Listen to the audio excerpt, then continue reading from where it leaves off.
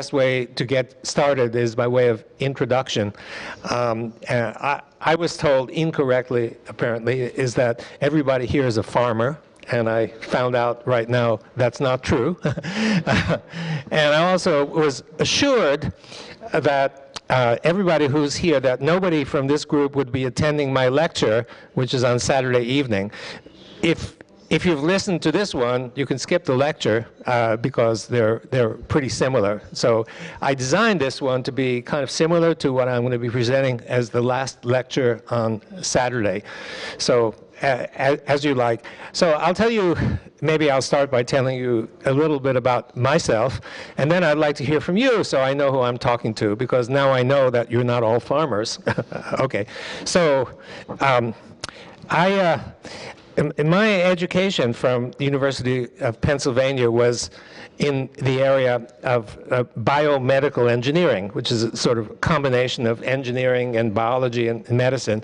For 20 or 25 years, I studied the mechanism, the molecular mechanism of muscle contraction, how the proteins inside the muscle uh, uh, interact to produce force and, and motion. And one day, it came to me that the people who are interested in finding out how muscles contract are ignoring the, the most prevalent molecule in the muscle, and that is water. So muscles are two-thirds water, and it seems to border on arrogance to think that the most prevalent molecule inside the muscle doesn't do anything. It just sits there as the background carrier uh, um, of the more important molecules. So I began to get interested in, uh, in, in water. And the, it's been a passion for me, and we discovered something that something unusual. You, you all um, have learned that water has three phases, right? A solid, a liquid, and a vapor, and we discovered a fourth phase. It's, you might say, it's not exactly a discovery because people before us had been thinking that in biology there's a different kind of water, that the molecules are somehow organized uh, um, in, in, in some like liquid crystalline array of some sort. And this idea is an old idea, but, but essentially nobody in the scientific field uh, has been taking, taking it uh, seriously. And so I'm going to tell you the story uh, about that and the implications, and there'll be some implications uh, for us, for, for humans and animals, and other implications for plants. So this is not only about plants. Um, I come from the University of Washington. The program says Washington University. That's in St. Louis. I'm from Seattle. It's a different university. In fact, there's University of Washington, Washington University, Central Washington University, George Washington University. Washington is a very popular name in, in the U.S., so I'm the one from, from Seattle. Okay, so let, let me get started. Um, the topic is obviously water. Um, and, you know, when, when you think about water, um, you, most people think that everything there is to know about water must already be known. You think not. By the way, feel free, feel free to interrupt and ask questions if you like. This is very informal. Uh, it's more fun that way. Um, and and uh, so what I, the first few slides are, are designed to demonstrate to you that you really don't know as much as you think you know about water because I'm going to show you uh, a few phenomena that I believe you won't be able to explain. Uh, if you could explain it, then you know more about water than I think. So, so here's the first one. Uh, so here's a cloud, and the water is beneath, and the water is evaporating uh, from everywhere. Uh, the water is not evaporating from the region, only the region beneath the cloud. And so the question is, how come you have a cloud here, but you don't have a cloud here? Or, or here? How's that possible? Is it somehow that this, this cloud is attracting the evaporated water to itself, or what? Uh, I, I think you don't know the answer to it unless you've seen some of my uh, stuff before because it's really not obvious. And if you don't know the answer, then you don't know all there is to know about water. Um, so here's another one. Uh, in, in this case, we're dropping water on water. So uh, this micro pipette is filled with water and it's falling on a surface of water. And you can see, you expect the two to coalesce instantly, but they don't the water droplets float on water. And if you look out when it's raining, look at puddles, you can actually see this phenomenon uh, itself. But we're taught that water combining with water, that the two will coalesce instantly, but you can see that that's not always the case. Do you know why? It's not obvious, okay, but it should be obvious later if you don't fall asleep, okay. So here's another uh, instance. Uh, here are two beakers that are filled with water almost to the brim, and you can see that the two rims are touching one another. Then you put one electrode in here, one electrode in here, and you impose a high voltage, and look at what happens. So you get a bridge between the two. And if you move one beaker away from the other beaker, then what happens is that the bridge is sustained. And it's sustained for a distance of up to three or four centimeters separation, and it's sustained essentially indefinitely. I can see a laugh over there. So, yeah, I mean, this is not what you expect from water, right? So, so there's something that you don't, actually, almost nobody understands what's going on here. We have some idea, but, um, but you don't understand. And if you don't understand it, then you don't know all there is to know about water, okay? And uh, an, another example, uh, this is a, a, magnet. The, the blue gadget in, in, uh, in the back is a, a strong uh, superconducting magnet. And in front of the magnet is a trough filled with water the water is red, some red dye is added. It has no significance whatsoever except to add some drama to, uh, to the, the picture. So this trough of water, um, when, the, when the magnet is turned on, the water splits so that Moses could walk across the Red Sea. um, again, it's, it's not so clear what the mechanism is, and I, I bet that you don't understand it because almost nobody understands it. But the point is that it's real, uh, and it can happen. I saw a demonstration myself. So main point of all of these is that there, there's a lot of stuff about water that we don't understand, although we think that since water has been studied for hundreds of years by scientists, uh, you know, it's one of the most abundant substances, not only on the face of, of the earth, but almost everywhere that you look, you find, you find water, and yet we really don't understand water. There are reasons for it. If we have a discussion later, I can tell, tell you about two debacles that took place in the field of water, which has made scientists scared to enter into the domain of water because of what happened to various scientists who had been studying water. Well, I, I, I, got interested in this uh, from a, a, guy named Gilbert Ling. Probably most of you have never heard of him. Uh, Gilbert is a uh, former, he's a Chinese American. He's now 100 years old, um, living in a nursing home. And he came, it was the first contingent of people to come to the US for postdoctoral studies from China. And he was selected among all of China. There were three people who came. He was one of the three. Another guy went on to win the Nobel Prize in physics. So these were, you know, really high-level guys, and they thought he was, he was the smartest. Um, the guy who won the Nobel Prize, by the way, is more famous in China. He's still around, more famous in China, not for his scientific uh, achievements, but because when he was about 90 years old, he married his translator, who was 32 at the time. and there, there were rumors that she was pregnant. I, I, am not sure. Anyway, uh, so that's Gilbert Ling. And Gilbert, Gilbert um, had been talking for years about water in biology, water inside the cell. And he said in his now, I think, six books or seven books, he said that the water inside the cell is not like water in the glass. So here, the molecules are arranged randomly and they're flipping around at um, um, a huge number of times, even per nanosecond. Um, and and um, uh, he said that it's different inside the cell. He said the water molecules are like dipoles with plus and minus at one end, and they kind of line up the way you line up dominoes. His work was very controversial. Uh, many people refused even to pay attention to it. Um, I, I, thought there was something to it. I showed one of his books to my students and postdocs, and every one of them said, you know, this guy is really on to something important.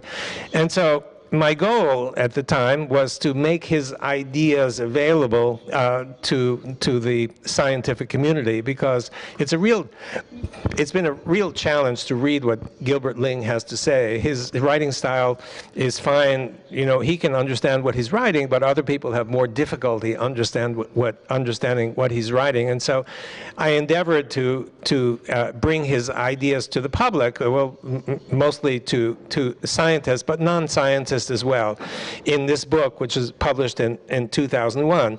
And the, the book was controversial. Some people loved it, other people hated it, but um, I'm told that discerning people really liked the book quite a lot. and, uh, and here's the evidence for it. As you can see, it's a, a popular among some groups. Uh, so one of the one of the main features, as I pointed out, is that the the water molecules, uh, which are dipoles, have a tendency to line up next to surfaces inside the cell. So most of the surfaces inside the cell are protein surfaces, also nucleic acids, but about 70% of the solids are proteins, and and the proteins usually have charges on on their outer surfaces, and so the idea was that, for example, uh, this molecule right here um, would be attracted, the negative part, the positive part of the molecule is attracted to the negative charge and so on. And so you get molecules that lined up in various uh, layers, which Gilbert Ling likes to call multi-layers. And his idea was that this force was strong enough that it could beat the tendency, the natural tendency to disorder, which is caused by thermal or Brownian motion. So when you go far enough away from the surface, the molecules are no longer strictly uh, aligned with one another, that they tend to be randomized. And physical chemists in general understand that one or two uh, molecular layers of water uh, might be organized. And Gilbert was suggesting there could be up to dozens, uh, maybe even hundreds of layers that are, are organized. And as I said, this is not popular, but we, uh, with the publication of that book, we became seriously interested in, in this kind of water to, to check experimentally to see if we not only, not only could find it, but also understand more about the character of that water. Um, and, and we did, and what I'm going to tell you uh, uh, uh is, is some of what we've learned. Well, one of the central features of this kind of water is it's just like a, a crystal because in crystals the molecules are organized and and in, in terms of crystals, crystals tend to exclude solutes and particles. It's like you know, when ice forms, uh, uh, the ice is a, a, pure crystal. It pushes out all the impurities that are in the ice. It's the same, the same principle. So we were looking for an experimental system uh, where uh, solutes and particles were excluded. And the idea would be that potentially, at least, if we could see some sort of region where particles were excluded, there's a possibility that that region might contain this kind of ordered water. And we were lucky enough to find it. Uh, it's a very simple system. Uh, this is this is a chamber uh, you see here, and in the chamber we put a gel, um, know, almost like uh, like the gel, gel that you might have uh, with your meal or for dessert if you're unlucky enough.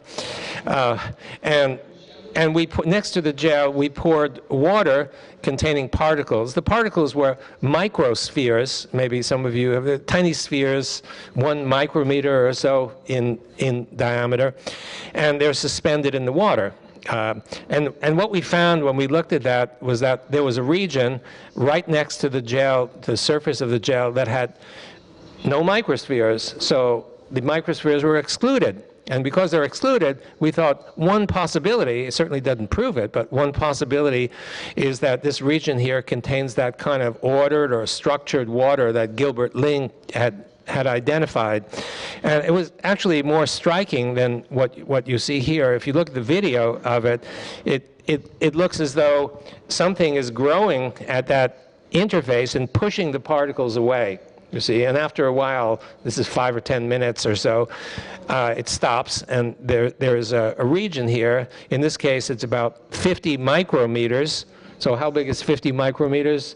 It's um, it's like half the thickness of one of your hairs, not mine because I don't have many, but um, um, that, that's the size. So this is by, by molecular standards, this is monumental. This is really large. And so, please, yeah. Is, it, is the border simply the edge of the gel, or is there something separating? No, it's just the edge, and I'm sorry, it's the optics of the microscope. Uh, see, the, the gel interface is straight, but if it's tilted slightly, then you'll get a um, kind of expanded shadow region that, that looks black here. Sorry, my, yeah, here. Okay, so we were very happy to find this because this gave us a sense that maybe, maybe we have a region of ordered water. And if so, this region would be huge, even, even much larger than Gilbert Ling had, had suggested. So we got excited about it. I got excited. Uh, someone said, you know, you found something pretty interesting. You got to give it a name. so what do you call it?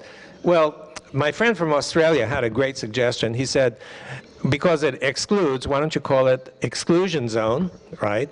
And if you call it exclusion zone, uh, it's EZ for short, which is easy to remember. But the problem is it doesn't work in Europe because it's EZ instead of EZ, so it loses the it loses the advantage. Anyway, this is we we call this exclusion zone, and you'll see in a moment the evidence for water as some kind of ordered water inside. We call it easy water, exclusion zone water, fourth phase water. Here's another example. Um, this is a, a piece of Nafion. So what's What's Nafion? Nafion is a polymer which has a lot of charge groups. The backbone is just like Teflon, uh, but it has sulfonate groups which confer a negative charge. So it comes in sheets, and the sheets are a little bit expensive, but it, it really makes it easy for us because we can take a sheet um, and cut it in any, any way we like. So here you see an arrowhead uh, shape. So you, you can take any shape you'd like. We plunk it down into the chamber, and we pour um, water containing microspheres, and you can already see that this zone is, is getting formed, and, um, and you can see it expand over time. This is sped up. It takes about five minutes or so uh, to reach the full value. And here, it's about, I'm sorry, the scale is not on here, it's about 500 micrometers, half a millimeter. So half a millimeter is extraordinary. If, if this involves water, it means it means that water molecules have the capacity to organize themselves over a span of half, half, a, half a millimeter. That's macroscopic. You don't even need a microscope to see this. This one is taken through the microscope, but you can see it with your naked eye. Well, since we discovered this, a lot of people have, have um, tried to reproduce it, and this list was constructed about six or seven years ago. Uh, by now, many people have identified it. In fact, we were really embarrassed because one of my students uh, one evening sent me an email. He said, check, check this out very soon. It turned out that a, a group, um, public, a, group of physiologists were investigating the lens of the eye, natural lens and also um, um, um artificial uh, lenses, and they reported almost exactly the same as what we saw in 1970 in the Journal of Physiology, London. So, so we were scooped, but it, it, doesn't matter. I mean, there's no question about the existence of this zone. The question is, what does it mean? And I'll get to that in a moment. Um, because I know all of you are, are interested um, uh, specifically in agriculture, this uh, is an image that was sent to me. Some of you may know the late Martin Canny, who, who um, um, was in, involved with vessels, uh, plant vessels, and this is xylem from, I'm sorry, I don't, I don't know which plant it is, but he got interested in, um, in the idea of easy water. And he sent me this slide. And what he did was he put some microspheres uh, into the vessel. And this is an electron micrograph that was taken. And he showed that around the edges, uh, where we, we would expect from the hydrophilic surfaces, there might be an exclusion zone. There was um, uh, excluding these microspheres in the same way that I showed uh, for those other instances. So, so what I'm what I'm telling you, what I'm going to tell you, applies also in agriculture uh, and maybe really important for agriculture.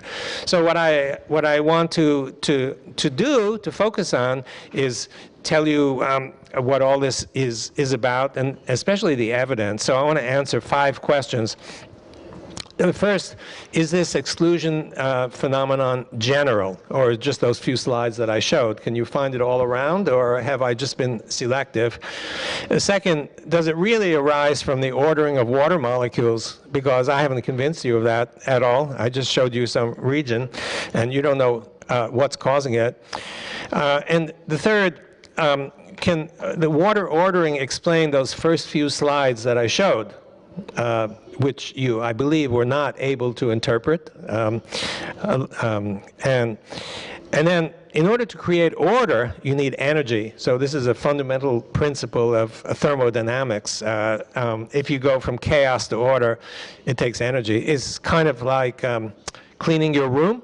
You know, your room gets messy over time. It requires essentially no energy to get it messy, but if you want to straighten it up, you really have to take the time and the effort and the energy to get it straightened. So it's a kind of nice analogy, and, and the principle, principle applies, so you need energy to create order. And if this is ordered water, where on earth does the energy come from? you know, you can't plug it into 220 volts or something like that. So, and you can't put gasoline uh, to. So, okay, and I'll get to that later. Um, and might these findings apply broadly? And of course, uh, your interest is agriculture, and I'll, I'll deal with that uh, to some extent uh, later. So the first question is generality. And uh, um, I can show you many slides showing, but let me summarize because, because uh, there's a lot of interesting stuff to come, and I don't, I don't want to use all my time. And so we've tried surfaces of many, many different substances. We've tried uh, gels. Uh, um, we must have tried 15 to 20 different gels, and we find this exclusion zone next to every one, uh, water-based gels you know, like the gels that you might eat, uh, for example, like other gels inside your body. We tried various polymers, and um, if the polymer is hydrophilic, you know, water loving, that means, that means uh, if, if, you, if you were to pour the water onto the surface and the water spreads out instead of beating up like it does on Teflon, then uh, not every case, but um, many, if not most cases, we can find this uh, exclusion zone. We tried biological surfaces of various sorts, like plant roots, uh, uh muscles, because we, we have experience uh, with, with, with muscles, uh, collagen, um, and such, and, and uh, cellulose, and we find it consistently next to these surfaces. And an interesting one is monolayers, that is single molecular layers on gold. This is a standard preparation among uh, materials uh, uh, scientists. And so you take a monolayer, one, one molecular layer on, on a surface that's functionalized in various ways, and you can see this easy developing next to single molecular layers, which suggests that that layer acts as a template. And next to the template, you uh, build this kind of water. Then next question is, well, okay, so we, we know what surfaces generate EZs, and there are many of them. So what solutes are excluded? we tried many solutes. Um, uh, we tried from big ones to small ones, and the big ones are giant particles, and they're easy. They're always essentially whatever particles you put into water are excluded. And we tried getting smaller in scale, getting down, for example, to to um, um, proteins um, and large molecules, excluded bacteria, viruses, and various chemicals down to molecular weight 100 or so and, and even lower. And you can tell because um, in some cases we use dyes, and you can see where the dye is and where the dye isn't. And so if the exclusion zone contains no dye, but everything else contains dye, then you know the dye hasn't gone in. And typically these are molecular weights around 100 or so. And we think salt molecules are excluded too, but they're more difficult to, uh, to test. So, uh, and I'll show you one slide showing uh, exclusion. So in terms of generality, um, uh, many hydrophilic surfaces, not all, but many of them, uh, generate exclusion zones, and many solutes are excluded. So that's question one. Okay. Question two um, is, is the zone really different from, uh, is the water really different from what we call bulk water, ordinary water, which sits in, in this glass here? And um, there's a long list. I'm going to list eight different uh, experimental observations. By now, there are more than a dozen, but uh, I, I, don't want to bore you. And I won't go through the details because a lot of this has been published, and uh, anybody who wants to check it can look. And I want to reserve enough time for the more interesting stuff, which comes afterward. I, I just want to, uh, to to convey to you the evidence for what, what we're claiming. Okay, and, uh, um, and so the first one is that the molecules of EZ water are more constrained than ordinary molecules. They don't move around as much. And we use nuclear magnetic resonance to, uh, to demonstrate that. And as I said, most of this stuff is published.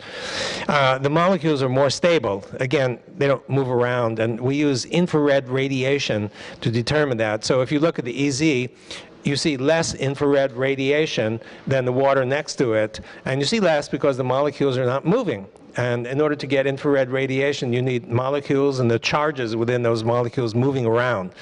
So it's, you might say it's cooler. Um, and that also has implications um, um, for agriculture. It has negative charge. This is this was a real surprise for us. Um, I'll show you the evidence for that in a moment because you know this water is neutral, and you don't expect a region of water to have negative charge or positive charge. You expect it to be neutral, but we found that it's not. And I'll get back to this one in a moment. Uh, the EZ absorbs light in the ultraviolet region. That's 270 nanometers that it absorbs. So if you want to find out whether this has got some EZ water in it, you shine a light through and see if it absorbs light at that wavelength. It's actually uh, pretty, pretty simple. It's more viscous. It has a consistency like honey uh, more, more, viscous by a couple of orders of magnitude compared to ordinary water. Uh, the molecules are aligned. Um, and we measured birefringence. Uh, the structure is different through infrared absorption.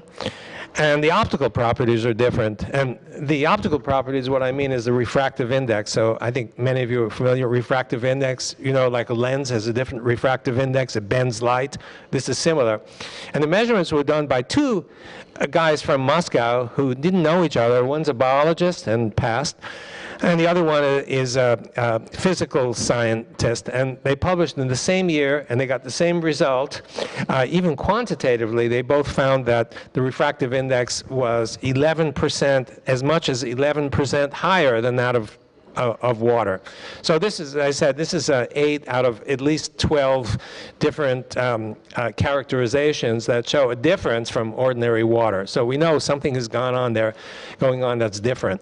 Um, and, and the point is that the EZ is not neutral. That's one of the uh, findings. It's not neutral like ordinary water. And I'll show you um, a slide that indicates that without um, going into the full, full evidence. So what you see here is a piece of Nafion, and right here is water.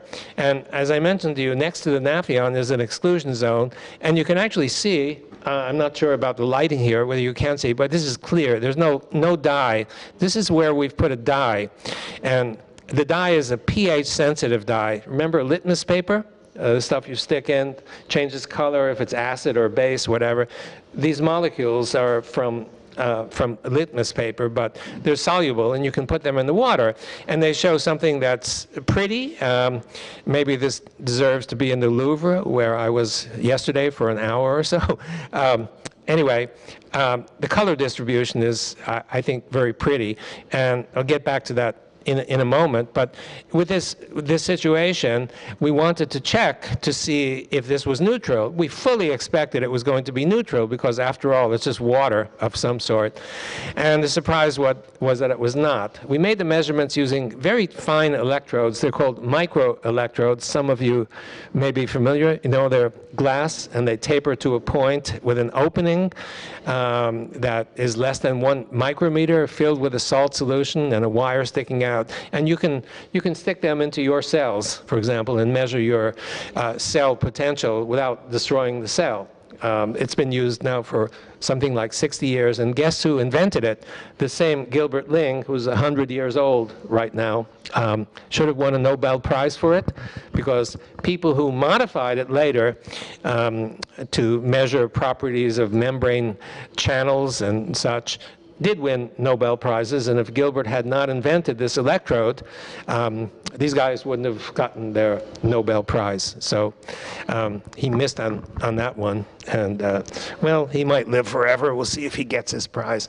Okay, so so what else is interesting about this? Um, this is, uh, this is negatively charged. Uh, we confirmed that with these electrodes, but it doesn't make sense if you think about it, right? Because what is the experiment? The experiment is you take a piece of Nafion and you put it in the chamber, and then you pour water, and the water is neutral, right? And uh, how is it possible that you start with neutral water and you get a zone that has negative charge? It doesn't make sense. So the first thought is you guys must have made an error. We knew we didn't make an error because my Russian friend, who was in the laboratory at the time, um, was we, we, were doing the experiment, and he said, "This is just impossible. It, it can't be." So he telephoned his wife in Russia, um, "Hello, dear," or whatever it is in, in, in Russian.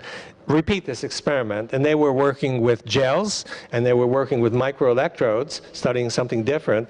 And so, within a few days, we had the answer back. They got the same result that we got. So we're very happy uh, about that. So, uh, so still the question remained, if, if indeed this region is negatively charged, although we started with something neutral, um, there must be some positive charge somewhere else because the only mechanism, if, if we didn't make an error, the only possible mechanism we could think of was that the water molecule must be splitting just like the first step in photosynthesis, you know, the water splits into H plus and OH minus. Um, but if so, we've, we've, we've identified a negative zone. Is there a positive zone somewhere else? You see, we, we expected that. And the answer is you can see it here, uh, right here, because the color. So these colors for this pH sensitive dye. Uh, the red color here means a pH of three or less. Huge numbers of protons here. Uh, fewer here, and then this is back to neutral with this distribution. So it looked as though somehow, we didn't know how at the moment, somehow the water molecules that we were putting in were splitting into positive and, and negative, you see. Uh, and if if this is true, you know, it's easy for us scientists. Um, um, I, I, guess the classic expression is only scientists love their models more than artists. uh, so, of course, we, we, we wanted this to be correct, but we, we wanted to make sure. So you stick one electrode in here and one electrode in here with a resistor in between because you should, you should have current flow between plus and minus right, if this is correct, because you have a charge separation. And here is the first of many experiments that demonstrates that. This is current, and this is time. And you can see there's a current flow. It diminishes over uh, a short time, and there's a plateau that is fairly uh, enduring. It's not zero. You don't have zero, here zero current. So you have current flowing from the plus to the minus. And we were very happy about that because uh, the only way you can actually get current flow is if you got plus in one region and minus in another region. And so uh, apparently we, we could find that and, and we were happy. So, uh, so what we've demonstrated uh, is, is that if you have a hydrophilic surface uh, next to water, what happens is next to this hydrophilic surface, the EZ water builds, and the EZ water has a negative charge, and here's the water that hasn't undergone transition, and instead of be, being neutral, it's got positive charge, so it's like a battery in water. So we found a battery and, and excuse me, and this of course applies in your body too. And we don't think about electrical energy as having any particular role inside your body or inside the plant's uh, uh, body, but apparently that, that is the case. Electrical uh, charge separation, like a battery, may supply a good deal of the energy uh, unexpectedly uh, in both animals and plants. So to summarize so far, um, it's a heavy lunch with wine, so you might be asleep. um, there's a region next to hydrophilic surfaces that's liquid crystalline. It's got negative charge. It excludes solutes profoundly. And although I represented this as a stack of dipoles, I'll show you in a few moments that this is not correct. Uh, we were kind of shocked to find that it's not correct. I'll tell you why in, in a moment. But I think this model is wrong, even though this very picture appeared in my previous book, uh, the one I showed you that was selected by the, the child. Um, and I'll tell you what I think is right, because uh, there's um, a lot of implication for for a function. And this region, this ordered region, may extend very far uh, from the surface. And by very far, what are we talking about in terms of molecules? Um, not two or three molecules or 20 or 30, but millions. Millions of mole molecular layers that are organized. Um, this is different from anything that you'll read in any textbook, but if our evidence is correct, um, this is what the situation is. So this is not a new finding, I've got to tell you. Um, it was theorized more than 100 years ago uh, by Sir William Hardy. This guy was a famous colloid and physical chemist, and he said, hey, you guys, something is really wrong uh, because there are a lot of observations on water that don't fit the theory that we all know where there are three phases, uh, uh, solid, liquid, and vapor. There's got to be a fourth phase. So at the time, it was only theorized, but there was no experimental evidence. And I, I put this name down to show you that the idea that there is a fourth phase is not new for us. It's been around for 100 years. And one of the, my favorite people to talk about um, regarding this is Albert Szent-Györgyi. Some of you may know his name. Um, Hungarian scientist, won a Nobel Prize, discovered vitamin C, was considered to be a, no, a Nobelist among Nobelists, and a brilliant guy. And he knew that there was something about the water that was, was different, uh, especially in biology, but not just biology. And um, um, so um, one of it, one of the favorite expressions that come from him is uh, life is dancing to the tune of solids, of water dancing to the tune of solids, uh, and I think he was he was right on. So, water is essential for life. Okay, now I mentioned that these dipole, the dipole idea is wrong, and you're wondering why why is this so important? And again, I repeat, unless you you know the structure, you, you have a hard time figuring out the function. And of course, the function, if this is there, it's got to play some really important role. And, and so what, what's wrong with the dipole picture?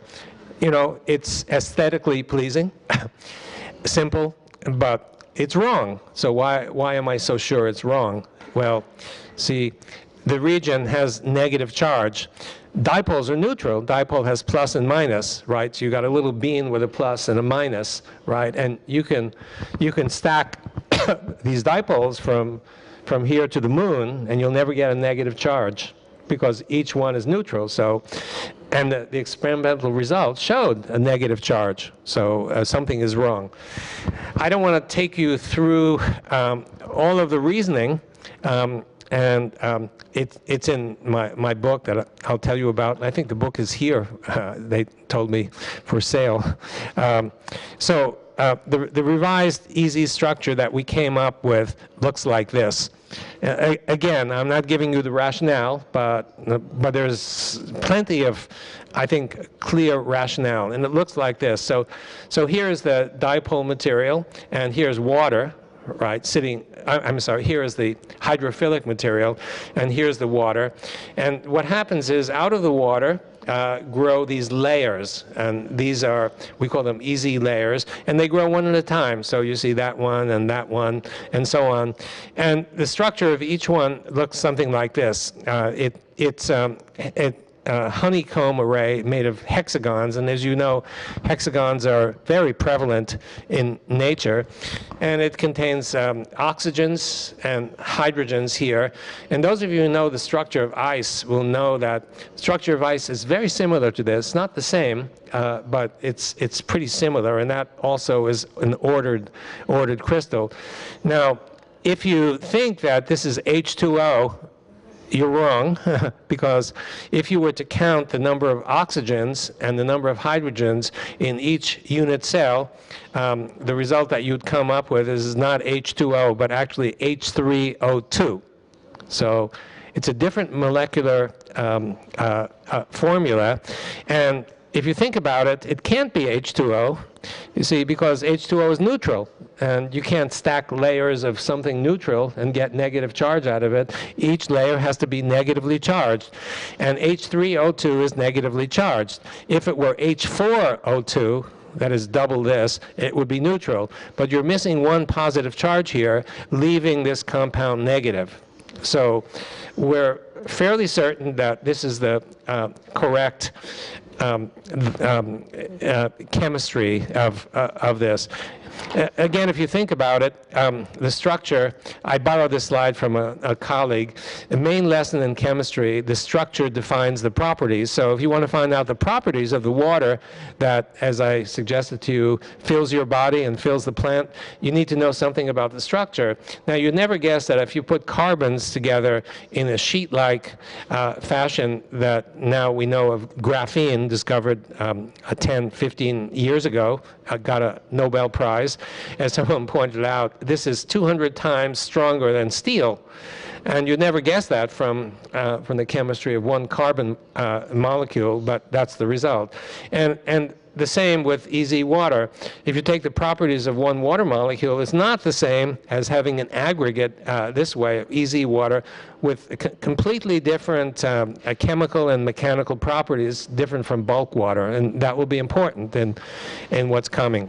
So uh, if you have as I suggested, a liquid crystalline structure like EZ structure, um, we, we know that liquid crystals can, can be solidified. And if this structure is really a liquid crystal, we'd expect that it could be solidified. So the example that many of you may know about is making sugar crystals. So you start with, with a solution, uh, which was showed by, I think, Pasteur uh, to start with, was a, a, liquid crystal, that is a sugar solution.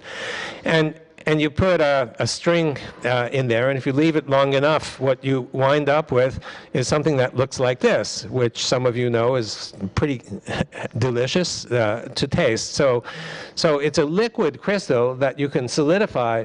So a question you might ask, although maybe you didn't ask it, is, well, you know, if you think that if you think that uh, this EZ structure is a liquid crystal, you might think that you could solidify it uh, at room temperature. Now, this would be a shock to everybody because it's like taking some, some kind of water and creating a solid, not at the low temperature, but at room temperature. I mean, it sounds impossible um, uh, to do. And so the question is, can you do it? Can the EZ liquid crystal be solidified at room temperature? And the guy who's done it is Vittorio Elia um, from Napoli. Uh, and and what he did is he took a sheet of naphthalene, or sorry, what, it's not what he did, his idea, but his wife does the work. Uh, so, so his wife did this laborious experiment. So you, you, take, um, you take a petri dish and you put a slab of Nafion, the material that builds very nice EZs, and you add some water, and, and so this is the Nafion sitting here, and you put the water, and over five, ten minutes or so, EZ forms. And they started with that idea, and they took a roller, and they rolled the water, they pushed the EZ plus inevitably some ordinary water uh, into the edge of the dish, and then they repeated it, and they repeated it, and they repeated it, um, and they could produce, well, okay, so they, they took the material, that they got out, which should be EZ water plus some ordinary uh, water. And if they just put it into a beaker, what happens is it looks something like this after some period of time. So this is ordinary water, and the clouds that you see here are EZ water. Think about the clouds that you see up there. Uh, if you just took water and put it in, in, into the beaker, you wouldn't find this, but, but they find that. Anyway, they could take this, this combination, even before it formed the cloud, and they put it into um, um, uh, a, a, device, it's called a lyophilizer, and protein biochemists use this to get the free water out of the protein. And they did this, and what they wound up with uh, looks like this. so the stuff that's sitting at the bottom of this flask is solid, EZ water at room temperature. And uh, Vittorio was kind enough to give us a sample of this stuff in a tiny little vial, and I think that I think that the value of this stuff in the tiny vial exceeds the value of platinum in, in the same vial because of the number of weeks, maybe months, it took his wife to produce this stuff. And I, I must admit to you that we squandered it. I gave it to a little bit to each of the people in the lab to play with. It feels, it feels thread-like if you put it in between your fingers, and it almost disintegrates into a powder. They checked using um, a mass spectrometer to see that this was not impurities in the water or anything like that, and they found it was hydrogen and oxygen. So, so EZ water. At, this is water, some kind of water at room temperature that's a solid if you can imagine. Not too many people are paying attention to it. I don't know why. For me, it's an extraordinary finding. Uh, okay, question three. Uh, can crystalline water explain some of those counterintuitive anomalies that I, I started with? Uh, for example, here, here's the cloud. And, and by the way, another anomaly that I won't address now, but if there's time at the end, I'm happy to answer questions. This cloud consists of water. Um, water is heavier than air, right? If you pour water, it goes down. It's pulled by gravitation. So how come this cloud is floating? It consists of water droplets, little droplets. What, what keeps it in the air? Anybody know? Yeah, but I, I mean, so gravitation is pulling down, right? Pulls you down. It's while you're sitting on this chair comfortably. But um, could you levitate? Not yet, but you're, you're working on it, I know. Uh, but the cloud is levitating, right? And so what keeps it from coming down by the force of gravity? You never thought about that, did you? You walk outside, you see these beautiful clouds, and you can't answer the question, I think, what keeps the cloud up there? Magnetic field. Sorry? Magnetic field. Um, I mean, it's an interesting idea, but what about a magnetic field? So water is not magnetic. It's not like iron. And negative charge? well, the negative charge is, is stationary. If you have charges moving, then they create a current, and it's affected by a magnetic field. But these charges are, you know, when you go up in the plane, you don't see much action in, in some of these clouds, like the white puffy ones. They're situated up there. And why do they stay up there? Anyway, uh, maybe, um, maybe at the end, uh, because there are a few more properties of water that I, I want to discuss. And I, I'll leave you in mystery because I think I know the answer to this, uh, uh, but I don't want to. I don't want to reveal it right at the moment. Uh, it's actually extremely simple. Uh, um, a structure of the air was a suggestion. Um, uh, i- i- it's possible, but um, uh, it's not so obvious how, how this uh, could happen. Uh, please think next time you go outside about what keeps the cloud. And by the way, usually it holds its water, but sometimes it doesn't. So uh, who gives the switch to turn on the rain? On the microbes. So I, uh, another suggestion was microbes, but I, I've heard a, a lot of suggestions, but um, maybe some of them are correct, but I, I think there's a, another simpler explanation, but I will leave you in mystery until until the end, um, okay? and meanwhile, you can think about, uh, yeah, please. Oh, for the angels. I got it. That might be the right answer for the angels. Uh, but uh, it's a, you got to admit, it's a good question, you know, and, and I think that nobody around the room knows the answer. And so please wait for my next book. oh, please. Um, so the, the suggestion is there's an exclusion zone between here and here, but um, you can see clouds if you look up over Paris, right? no sea, but, but clouds. Um, and sometimes, by the way, you can see a stack of clouds, not just one, but sometimes there's one here, one here, and one here. How come? So these are, these are questions that arise from, um, um, from very simple phenomena that we see every day, but uh, questions too simple even for us to think about answering them. but they exist. Okay. Okay, so the, the question was this. Um, how, how is it possible that, at least in this, in this situation, you have evaporation coming from here, the same as is coming from here, but there's no cloud above, right? And so the, the impression is that the water that's evaporating must somehow get attracted to this cloud and attracted to this cloud. And then you might have another cloud sitting here or somewhere else. But, but the, the ordinary explanation is you have one continuous cloud from all over the sea, but sometimes, sometimes you do, but in some cases you don't. And, and the principle, let me explain to you what I think is, is going on. It's a simple principle that applies um, to water and also applies to many colloids, and that is something like this. So imagine imagine you have um, one hydrophilic particle that builds an exclusion zone here that's negatively charged. And remember, beyond the exclusion zone is positive charges here. And you got another one sitting uh, right here that's in the same situation. So now, if I ask you a question, these two particles are negatively charged. They have the same charge. So the question is, um, which way, if, you, if, you, if I were to drop these two particles in, in this water close to each other, what would happen to the distance between them? They have the same charge. Would they, the distance increase or decrease? What do you think? Uh, increase. You think increase, you think increase. Everybody agree?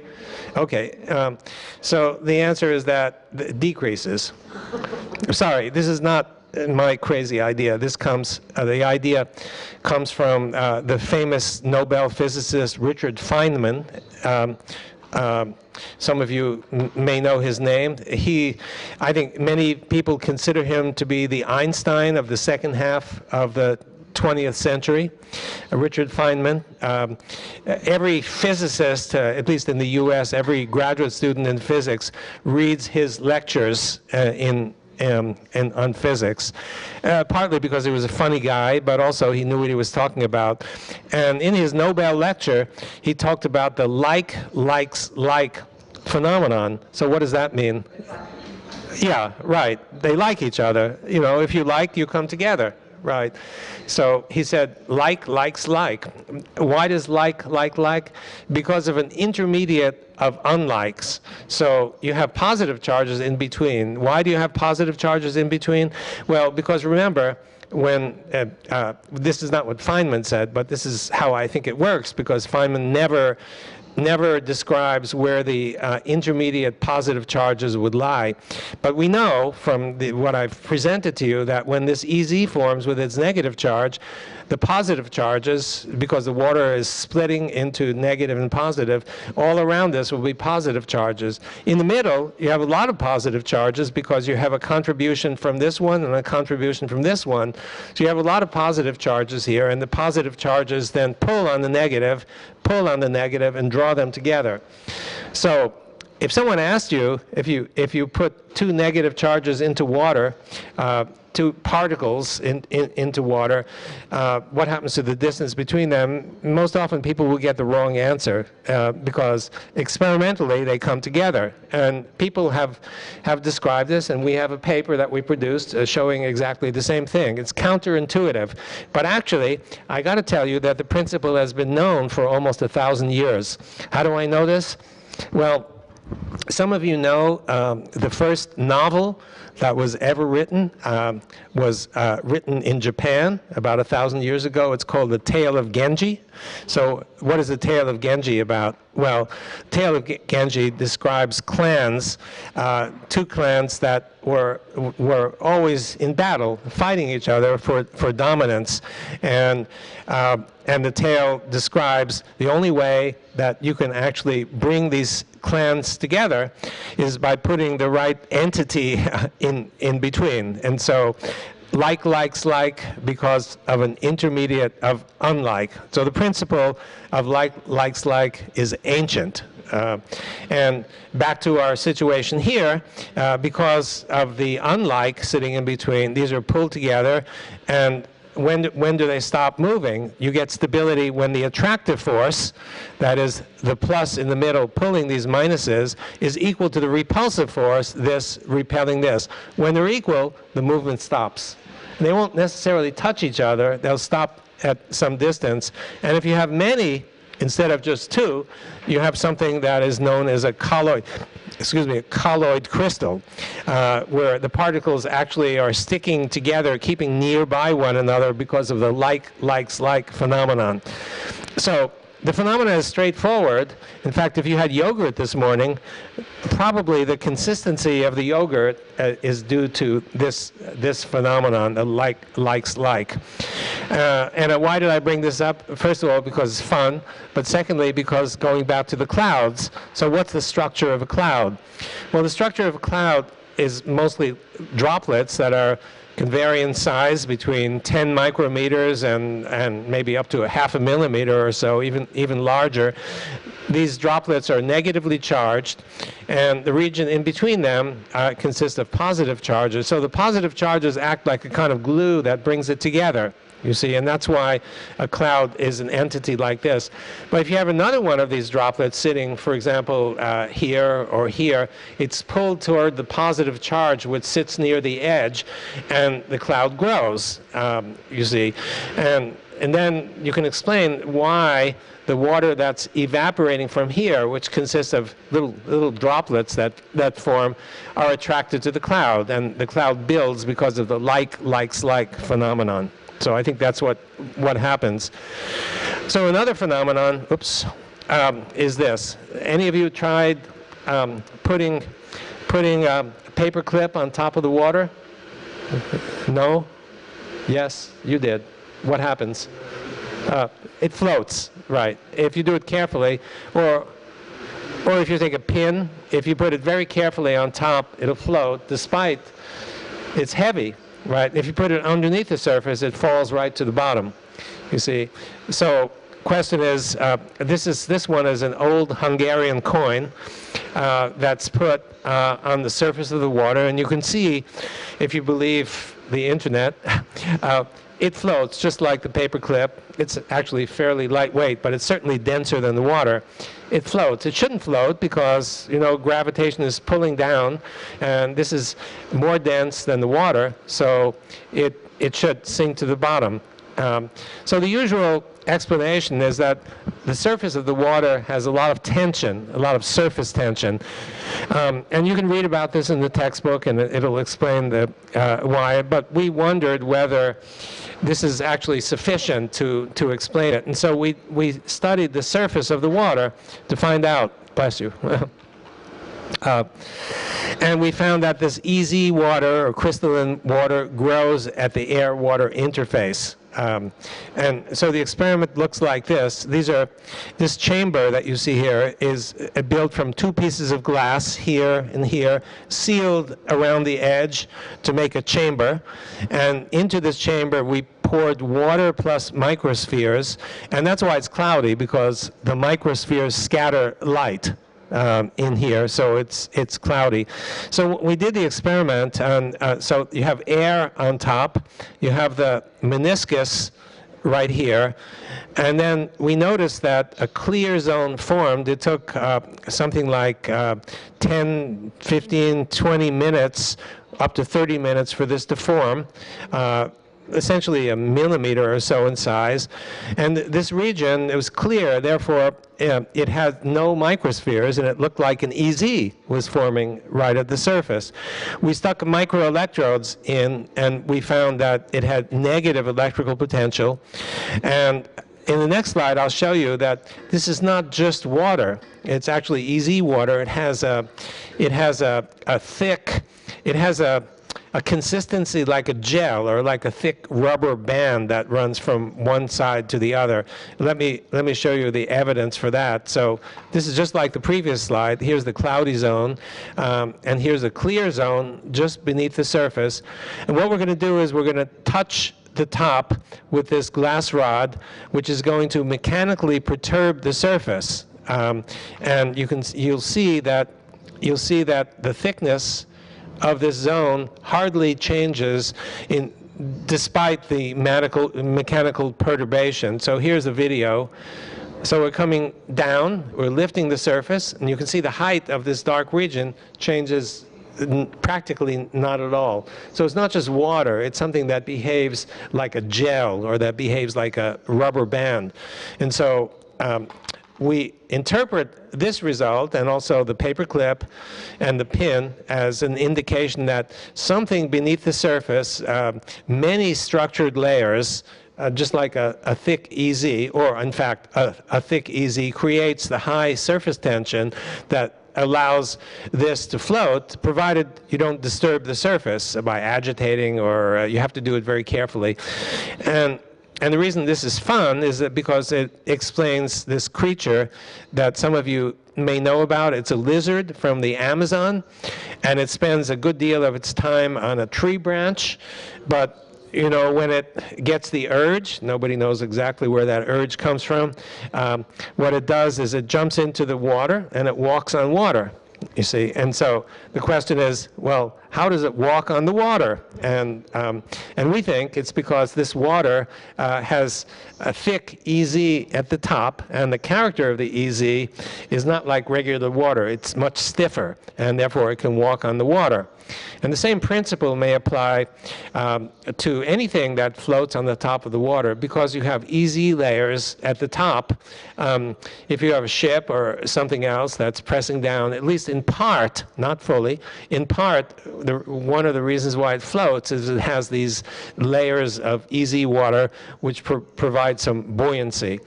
Okay, well, another point is that crystals can be stiff.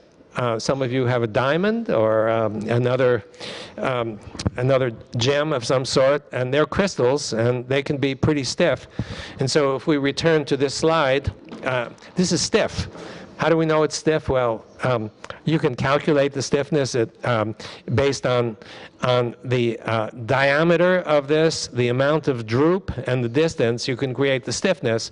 And let me tell you, it's very stiff. Um, it, it's stiff enough that you can almost walk across it if you, if you could do that. And so water Ordinary water is not like that. You've never seen, I think, uh, any kind of water that does anything like this. Um, but if it's a liquid crystal, no, it could be anywhere between uh, fragile and weak to s- as strong as your as your diamond. You see, and um, and we think that this is the explanation. So the answer to question number three is uh, yeah, uh, liquid crystalline water explains many anomalies. What was the, what is the other explanation for tension?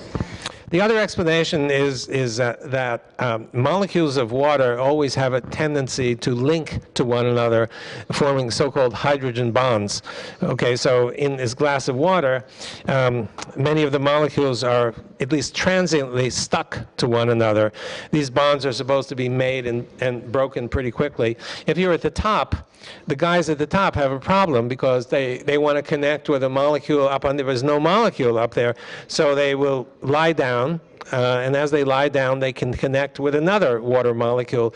Therefore at the top molecular layer you have more interconnections between water molecules and therefore it should be stiffer. So there's one molecular layer. The question is one molecular layer is like a third of a nanometer uh, thick. Uh, that's something like, what is it? Uh, um, I think one thirtieth or so, this thickness of a cell membrane. And the question, you know, can you get enough stiffness out of this to explain it? Th- That's why we were skeptical, and I think the answer is no. Yeah, so he's saying that if you have a hose or a pipe and you put it under high pressure, um, it tends to stick near your body. Um, but let me say, does that mean there is flow or no flow? There is flow. Okay, yeah. So the first, the first part of my answer to your question is please wait for the second half. I'm going to, to, to discuss something about flow, and I think you may be able to infer an explanation from what I talk about. However, um, I, I would like to suggest to you a, a proposal uh, to uh, think about right now. When, and it's similar to uh, um, a flow vessel like xylem, for example. If you, um, if, if you have flow um, through through the tube, what happens is that EZ, negative charge, builds just inside the tube, um, and a positive charge exists in the region of flow. I, I'll show you evidence for that. Now, if the outside of the tube has negative charge, so we know the principle of induction uh, from Faraday, Michael Faraday, that is, if I have um, uh, i- if, if I have a positive charge here, it will induce negative charge on this surface. Okay, positive charge induces negative, and if it's this is, negative and it, it will induce positive, it's always inducing an opposite charge, which means these two surfaces will come together. So anytime you have uh, any body with a charge, doesn't matter which polarity, it will induce the opposite charge on anything nearby, and the two will have an attraction. So if there's enough uh, negative charge around the pipe that you're talking about, it will induce the opposite charge on your body and draw them together.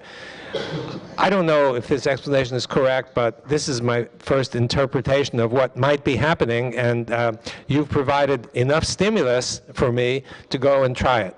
So we we. Um, we dealt with three questions so far, and now we come to question four.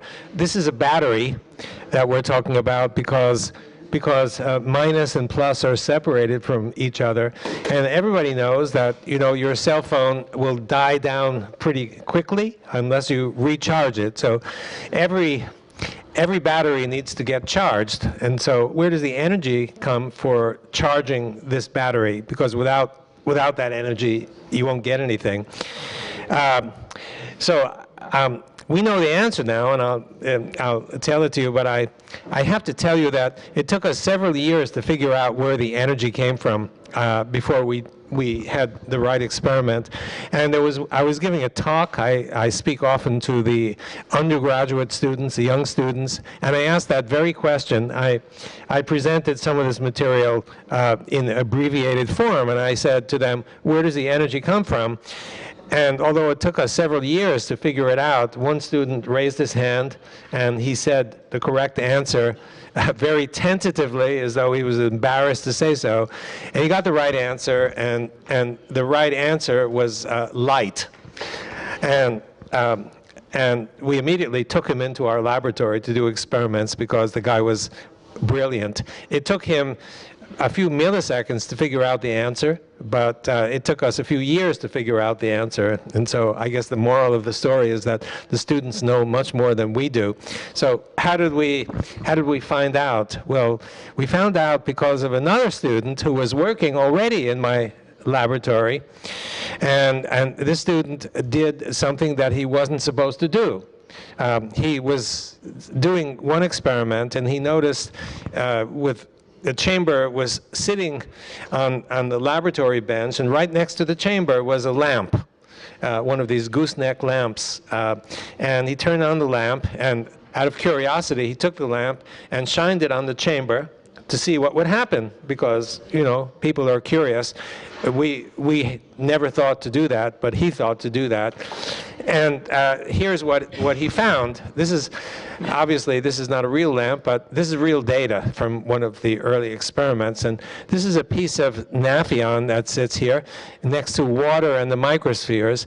And the exclusion zone is shown here. It contains no microspheres. And usually, next to a long sheet of Nafion, the exclusion zone is uniform, uh, like this. But when he shined the lamp, after about five minutes or so, we could see in the microscope that the exclusion zone had grown in the region that was being illuminated. And uh, when he took the lamp away, it went back to the control value, which was uniform uh, along the surface of, of the Nafion. So it didn't take a rocket scientist to figure out that you know if light was building was building the exclusion zone, then maybe it was the photons, the light, that was supplying the energy uh, to build the exclusion zone. So we did a whole bunch of experiments to check this out and to check which wavelengths were uh, most important. So we, we, tried many wavelengths from uh, scanning through from the um, ultraviolet short wavelength to the medium wavelengths, which are visible light, to infrared. And we found from these experiments, I won't show you the data because it's too much, it's published, the most effective was infrared. So now, I think most of you will think infrared. Well, what's infrared? Where do, where do I find infrared, right? Infrared wavelengths, and and you know that if you if you look at uh, at your electric range, uh, when the coil is is growing brightly bright orange, uh, it's giving off heat and it's giving off infrared energy. We we call it light, although you can't see it, but it's still called infrared light or infrared radiant energy, and but it's quite true uh, that it, it, that this is giving off your oven, your toaster, such, giving off infrared energy. But what people don't realize is that it's all over the place. Uh, everything around you is giving off infrared energy. So if, if we were to close the curtains around here and it's dark, um, and if I had a camera that was, was sensitive to infrared wavelengths instead of uh, usually visible wavelengths. Uh, even if it were dark here and you couldn't see anything with your eyes, the infrared camera will pick up a beautiful image of all of you and um, with a glass of water and my watch sitting here and uh, my briefcase, uh, etc. And that's why it's used as infrared cameras are used as night lights because even though it's dark out and you can't see anything, you've got plenty of infrared light coming from all over the place. And this is very important, and um, I'll come back to its importance in plants in, in, a, in a few minutes, but it's all there. So it's free. It's literally free energy. You may have learned about free energy in your chemistry class. This is literally free energy. It's free for the taking. It's all over. And because it's free, um, and because it's always there, it means that if you have any hydrophilic material sitting next to water, you will always have some EZ water because the infrared energy that's around you will always be there to build the EZ water. And if you, if you have more infrared energy, as for example from a lamp, then what happens is it grows. And if you take away that extra infrared energy, it comes back to its ordinary control value. So the energy is always there. Um, and um, and it's free, and therefore you always have some EZ water. So it's a simple answer to question number four about where the energy comes from. It comes from light, especially the infrared wavelengths of light, which build EZ uh, uh, water. That is not to say that other wavelengths don't contribute, but we found, we found that the most sensitive wavelength is a um, wavelength of 3.0 micrometers. And, um, that doesn't really mean anything to you, to, to, most of you, I think, but it's the, it's the wavelength of infrared energy that's, or any energy, that's most absorbed by the water. So if you offer this water a series of wavelengths, it absorbs uh, mostly um, at three micrometers in, in, in the water, and that energy that gets absorbed goes into building EZ water. That's the new new um, in, information that, that we found. So uh, the energy, the EZ buildup is powered by light, photonic energy, and that orders the water and charges the water battery. So the simple situation looks like Hawaii. you just lie in the sun and you get energy uh, from the light that's coming, or infrared light especially, that's coming not just fr from the sun, but from, from all over. Now, if you're thinking this late in the afternoon, uh, you'd think, well, you're telling me that this water is absorbing infrared light that's coming from all around. If it's absorbing energy, it can't keep absorbing energy because if it keeps absorbing energy, it will explode it's got to get rid of that energy somehow. And, and so if it keeps building energy, you, you, would expect that this water can do work because if it builds energy, the energy must get expended in some kind of work. But you're telling me that you've never seen a glass of water doing work, right? Or maybe you have. Anybody ever seen a glass of water doing work? No? I'm going to give you an example of a glass of water doing work. Uh, I, I, know it You, you'll see in a moment that a glass of water can, can, uh, do work. It, energy could be harvested. And this was done again by a student who was doing what he was not supposed to do. I don't know if it's only my students who do that, but uh, the, the students have a sense of freedom and they, they feel they try this or try that. So we had just heard that Nafion, which we use in a lot of experiments, although not all the time, it's, it's useful, it also comes in the shape of tubes. It's like a straw uh, made of uh, Nafion material. And so I asked the student if he would look at the tubes and see if they actually built EZs the way we could see EZs getting built next to a sheet of Nafion. And the student went to do his work, and, and he found something unexpected and interesting. And I remember distinctly, I was sitting in my office speaking to some visitor who I thought was important, or maybe he wasn't so important. And the student came barging in, um, and he said, hey, there's something I found that I, I want to tell you about. Um, and uh, so he'd, he'd been studying his, this a tube of Nafion, uh, a couple of millimeters or so in, um, in, in diameter. And he said to me, um, and actually, I was kind of happy that he came in because the visitor was not so interesting. and, and the student was telling me, he said, I found something and I thought you'd be pretty interested in it. Well, okay, tell me what'd you find and why is it so interesting? Um, he said, well, you know, I found flow through this tube and the flow never stops flowing. Okay, so um, I thought, hmm, this is pretty interesting. you know, maybe even more interesting than the student thought it was because usually if you have flow in a tube, you need a pressure, like you're talking about your hose. You need a pressure to drive it through, or a pressure gradient, pressure difference. But there's no pressure difference here. It's just sitting there, you know, and um, and the flow keeps going without without stopping. So uh, he thought it was interesting, and I thought it was super interesting because, if true, of course, we had to check to see that the student was correct and there was no experimental error, which which, which we did. This I, I thought was really good evidence um, that the light was responsible because where else does the energy come from? All that's happening to this water and tube was that infrared energy was coming in and absorbed by the water, and I thought, you know, if it's being absorbed, it must do something. And I thought, well, maybe the source of energy is somehow, we didn't know exactly how at the time, was coming from the ambient energy from around us um, and is driving this process. And we found, I'll show you, that indeed that, that, was, that was the case. So I was delighted that this student came barging in to, inter- to interrupt my meeting with, with the visitor. Um, I don't remember the visitor, but I remember the student coming in. uh, and the way it works is something like this. You take a piece of tubing and you first fill the tubing uh, with water and microspheres and make sure there are no air bubbles, and then stick it down into the water that contains the microspheres. Look at it in the microscope. We have green light in this case, and, and see what happens. And so here, here's the result. In, inside this Nafion tube, you can see the exclusion zone here and here. And and the uh, flow keeps going. And I, I stopped the video here, but I can tell you that we've had it going for as much as a day and a half without stopping. Uh, and we know we- we know pretty much why it stops, and I think we could make it go uh, indefinitely um, by taking the proper measures.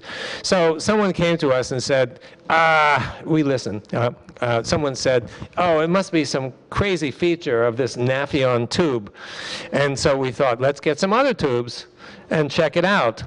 It's really difficult to find narrow tubes that are made of hydrophilic materials. So we created essentially the same thing by ourselves, and we created um, i i by by forming a gel uh, and sticking a wire in the gel. And as as the material forms the gel, we pull the wire out, leaving a tunnel. So we have a a, um, a piece of gel, like a block of gel, with a tunnel running through from one end to the other.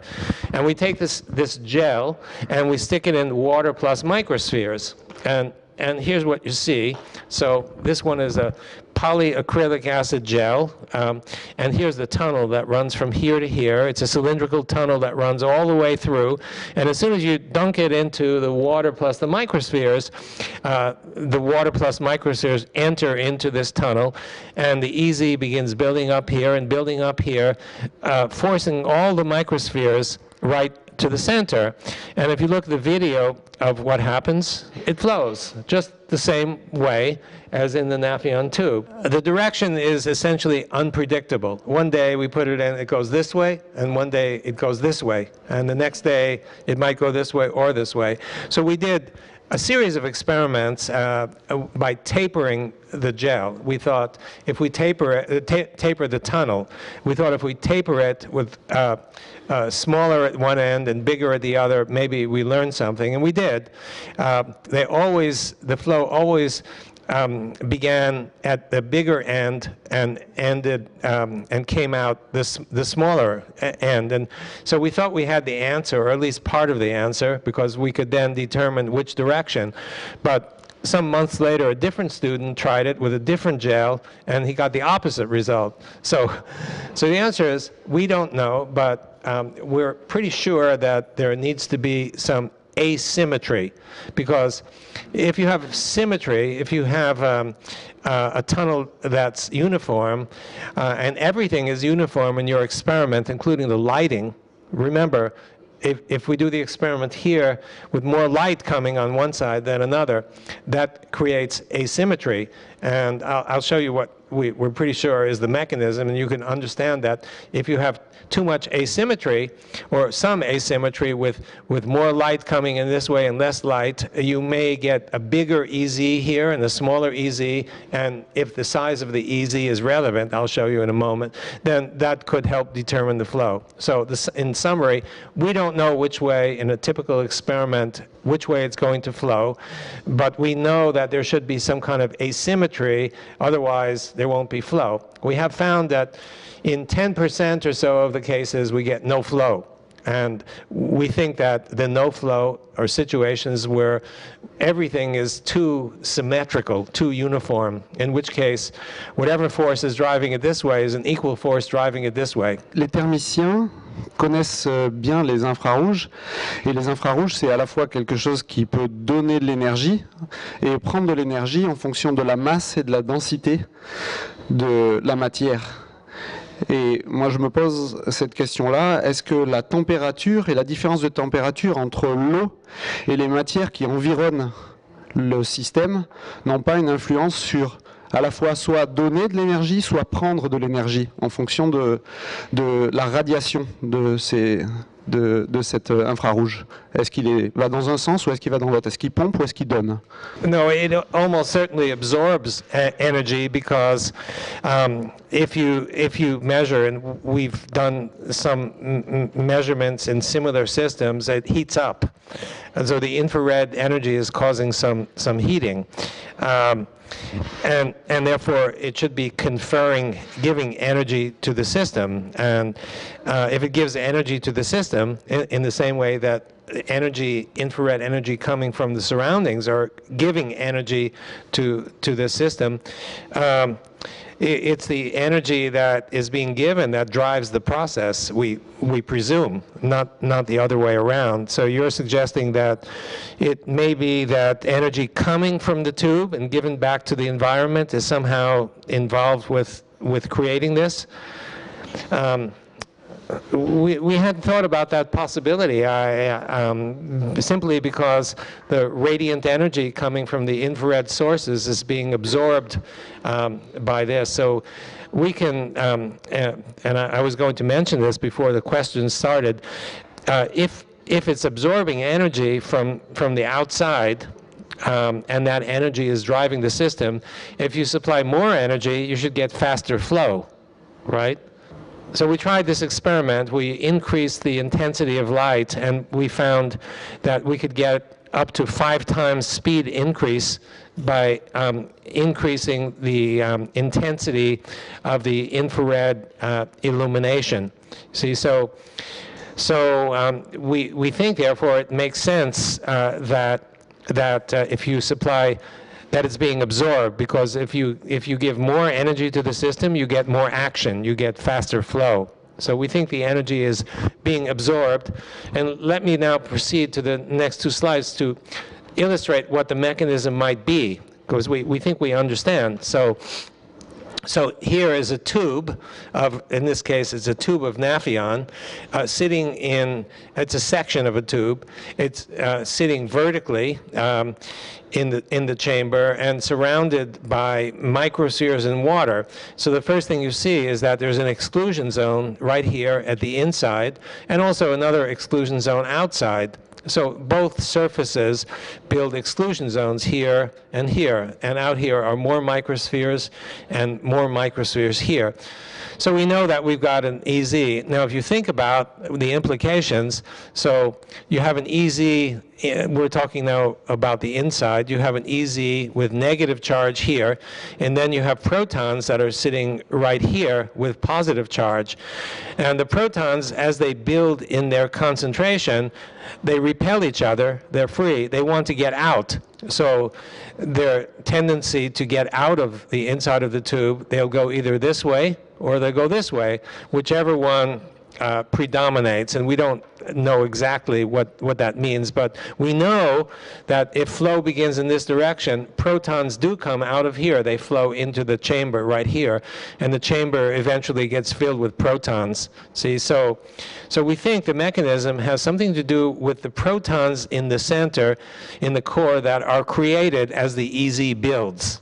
Um, and we know if you apply more light, more infrared energy, um, you, you get bigger EZ buildup and therefore more protons and more of a tendency to go out. And that's why we think it's faster with more light. So this is, this is the mechanism that we, we, we think is, is going to explain it. Um, and and so the, the conclusion of the slides that I've shown you is that, you know, work is done because in order to drive flow through a tube, you need to do, uh, um, that involves work because you have to overcome friction.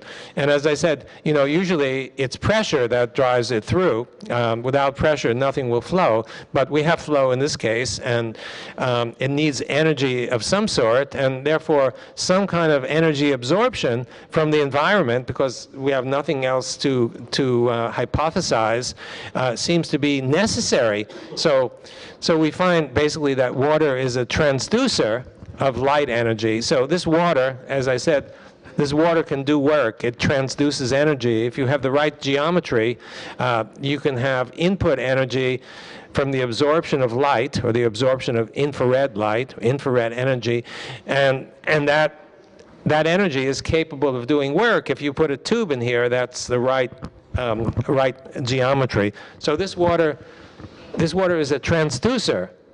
I think most people don't think of it as a transducer, but this is a transducer of light energy into mechanical energy and also electrical energy. Now, that sounds weird, but you people know very well uh, that this stuff here on the left gets its energy from light. You see, um, and and so the plant absorbs the light um, and builds chemical potential, and the chemical potential um, feeds the growth and metabolism and bending and and what have you. So I'm I'm suggesting here that the same thing happens in water, um, that the water is doing the same as the plant. And it's no surprise because the plant is mostly water.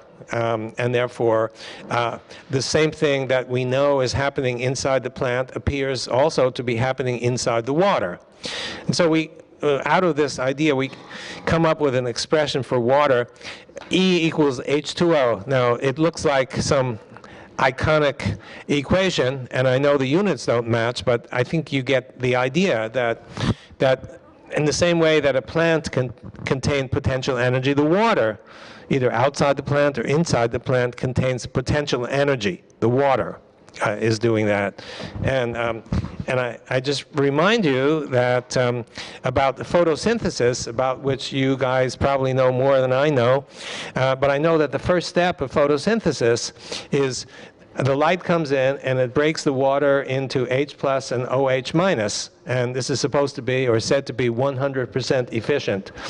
That's what we found in a more generic kind of um, a more generic kind of um, uh, setting. That so it doesn't have to be chlorophyll. It could be many different um, many different surfaces, many different hydrophilic surfaces that could do much the same, maybe not as effectively, but um, can can do it, do do much the same. And and uh, if if it's true, we don't know if it's true that that first step of photosynthesis is more like what we what we uh, showed than most people think of. Um, that will be interesting. It would be that you know in, in plants and in certain bacteria, the first step of photosynthesis is actually one special example of the more generic um, thing that that we found uh, over here.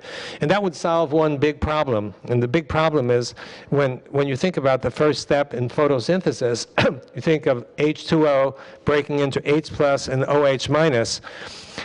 But there's a problem with that, uh, that one of my uh, colleagues from Brazil identified. If you create H plus and OH minus, they don't want to get away from each other because plus and minus like each other. They, what what would induce them to separate? Well, we have a mechanism uh, that could explain it. I haven't gone into detail, into molecular detail about how it occurs, but, um, but we have something that where we know the minus and plus can separate, despite what we know about physics, which implies that plus and minus don't want to separate. You see, and that question, as far as I know, has never been addressed, uh, seriously addressed in in in um, uh, plant uh, physiology and bio biochemistry.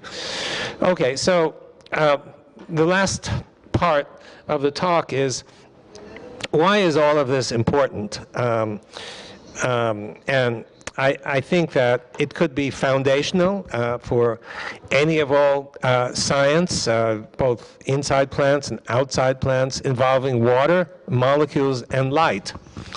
And um, another is, is, that it could be foundational for health. And we're talking now about both animals and, and plants, and I'll give you a few examples coming up in, in this, and maybe try to leave a little time for some questions at the end. So a question that you might ask is, does human biology use radiant energy? So we never think of ourselves as plants, right? you know, we're, we're animals. We can forage, we can get our energy, we can get our food. But, you know, we're receiving radiant energy all the time uh, from, from the environment. And, and suppose you are Mother Nature and you've invented, created whatever plants, green plants, bacteria, and you've got an energy transduction mechanism that works pretty well and you decide, hey, wouldn't it be cool to um, invent animals too instead of instead of plants and such? Now you have two options, and one is to dis discard the plant energetic transduction mechanism altogether. Photosynthesis, ah, that's for green plants. For animals, we want something special. Or you could keep it in reserve as a, a supplement to augment whatever energy transduction mechanism you're using in animals.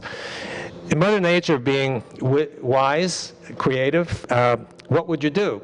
So I think most people would say, well, uh, we, we don't, we don't want to discard the idea of having light as, as, as, supplying energy because it works pretty well so far. Why should we simply discard it and replace it with some, something else? The something else might be useful. It's called food. but but would you throw out a mechanism that has been so successful throughout nature or keep it in reserve or keep it as an auxiliary mechanism? So I think you know where I'm, where I'm going with this. And so one, one, one of the first ideas that we were thinking of is the cardiovascular system. So we receive energy all the time and there are many capillaries uh, in our system that are pretty superficial, uh, that receive light. And the question is, well, you know, is it possible that some of this light energy could be used by you and, and me to actually do something in our cardiovascular system. And my first thought about it is no way. Uh, and why did I think no way? Well, I did my PhD on uh, simulating the pressure and flow in the cardiovascular system, and I thought we had all the answers uh, because I, I could easily explain the, the pressure and the flow and all of the different vessels, and I, I didn't need anything light. That's, that's a weird idea, using light to help propel the cardiovascular system. A- and then I met a guy, I was visiting my friend at Moscow University. Um, and my friend said, I want you to meet my, the guy in the next laboratory. And so the guy in the next laboratory was telling me, in translated from the Russian, there's a big problem in the cardiovascular system. And I looked at him with a certain degree of arrogance because I knew what there is to know about the cardiovascular system. I thought, and I said, well, what's, what's the big problem you're talking about? He said, the big problem is this. Look, you've got capillaries, and, and the capillaries uh, in healthy young adults are sometimes down to three or four micrometers in diameter. But the red blood cells that need to pass through them are twice the diameter. They're six or seven micrometers. So there's a big problem there because it looks like Mother Nature made a big mistake uh, right? Why would you have a tube, you know, and the stuff that has to pass through the tube is bigger than the diameter of the tube?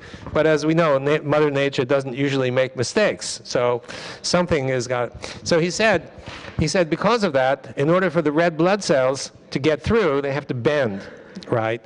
Um, so you take something that's the shape of a donut and it's got to kind of contort uh, in order to make its way through. And he said if you calculate the resistance of these red blood cells, even if the wall is very well lubricated and smooth still, he said it's so high it's so high that if the heart were completely and fully responsible for doing this, it would need to generate a pressure of something like one million times the pressure that your heart generates. That's high blood pressure. uh, so he said, something is wrong. There's got to be another source of energy uh, beyond the heart that does it. And boy, did that stimulate me um, to, to thinking because I just showed you some experiments where, you know, where you don't need any pressure and you get flow that occurs. You see, and so I thought, hey, maybe this is what's possible. So if you look at, if you look at uh, capillaries, this is, um, this is muscle tissue. Um, uh, I forget the species. Um, and here's one capillary, and here's another capillary, and another one here, and another one here. And you know, the red blood cells are supposed to look like this, but in fact, when they're flowing uh, through a capillary, they're bent, they're squeezed. And this guy up here is having a devil of a time working his way through. You can see it's a small capillary, and it's very well well squeezed in order to get through. So I, you know, I began thinking seriously of the possibility that light energy is involved in driving the flow through the capillaries. And one thing that's interesting is, you know, the heart is beating, and if the heart is responsible, you see pulses of flow, but the flow is very steady, as you can see. So it seems to be not necessarily uh, related to, to the heart. So I was thinking that, um, you know, we know in the case of this tube that radiant energy drives the flow. And so the question arose right away, uh, might radiant energy also help drive blood flow in, in your, your vessels? Um, so we started checking the literature and we found a very interesting re result. Um, we found um, a paper by an Israeli group and they were studying mice. Okay, and they, they were studying uh, uh, blood flow in capillaries using a technique, I don't know if you know about it, it's called optical coherence tomography. It's an optical method where you can uh, image um, um, structures that are even pretty deep inside your body and, and get clear information. Anyway, it's not very important. After their experiment was over, uh, they sacrificed the mouse, and they did it by clamping the aorta, and the mouse dutifully died after about 10 seconds. But they found something peculiar. They found that the blood kept flowing.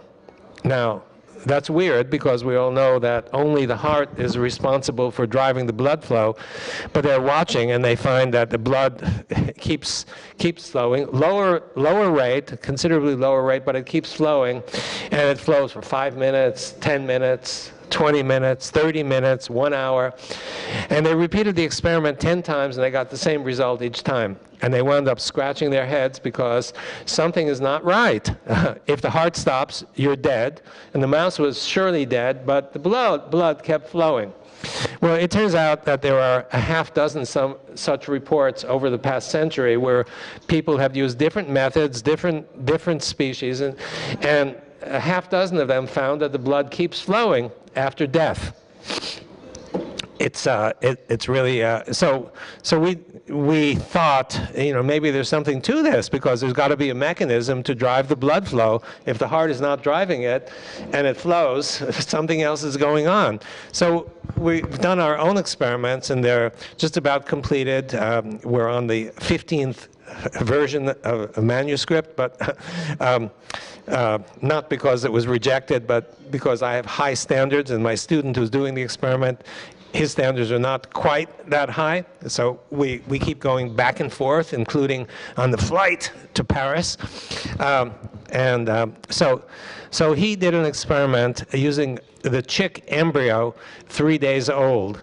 And at three days, the the various feedback systems in the embryo are not yet developed. So it's a kind of primitive kind of cardiovascular system. So here's the eggshell, and here's the, the embryo begins to grow above, above the yolk. And you can see the heart is here, and here are some of the vessels that have developed. And he was able to image um, a blood vessel here and a blood vessel here to see if uh, there's post-mortem flow. So the experiment um, uh, the experimental result is, the main result is shown here. So on this axis is flow, and on this axis is time.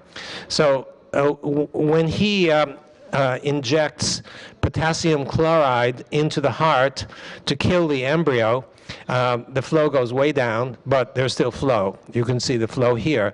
And then to test the hypothesis that the mechanism that I just told you about is going on, we decided to add infrared energy. Now, if the mechanism is, is happening there, the flow should increase. Then you can see that the flow does increase to roughly three times the initial value. And when you turn off the infrared here, it goes back down to the uh, baseline roughly.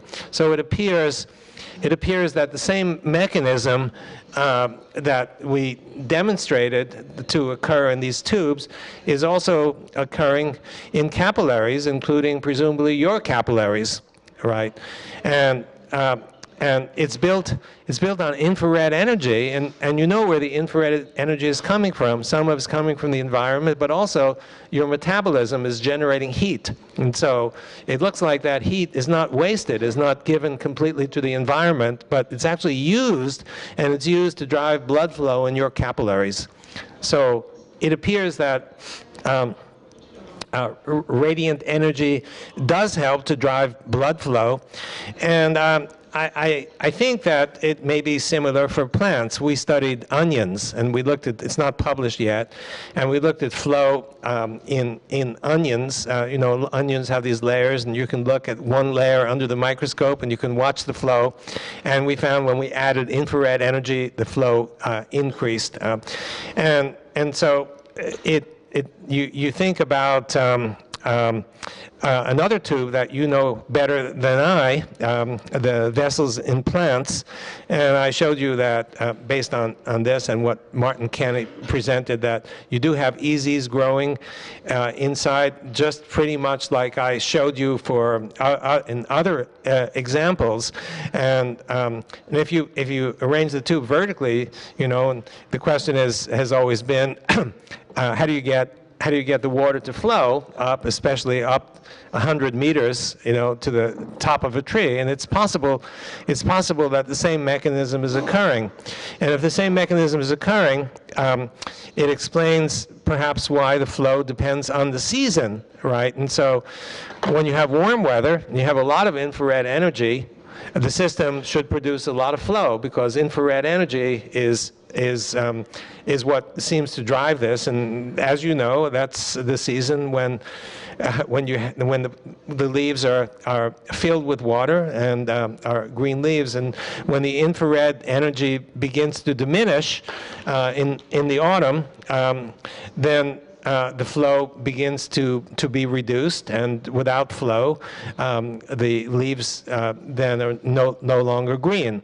And um, it's basically protons that that do the job. If the mechanism is similar to what we found and similar to, I think, what happens in your, your capillaries, it's the protons that are here that are repelling one another.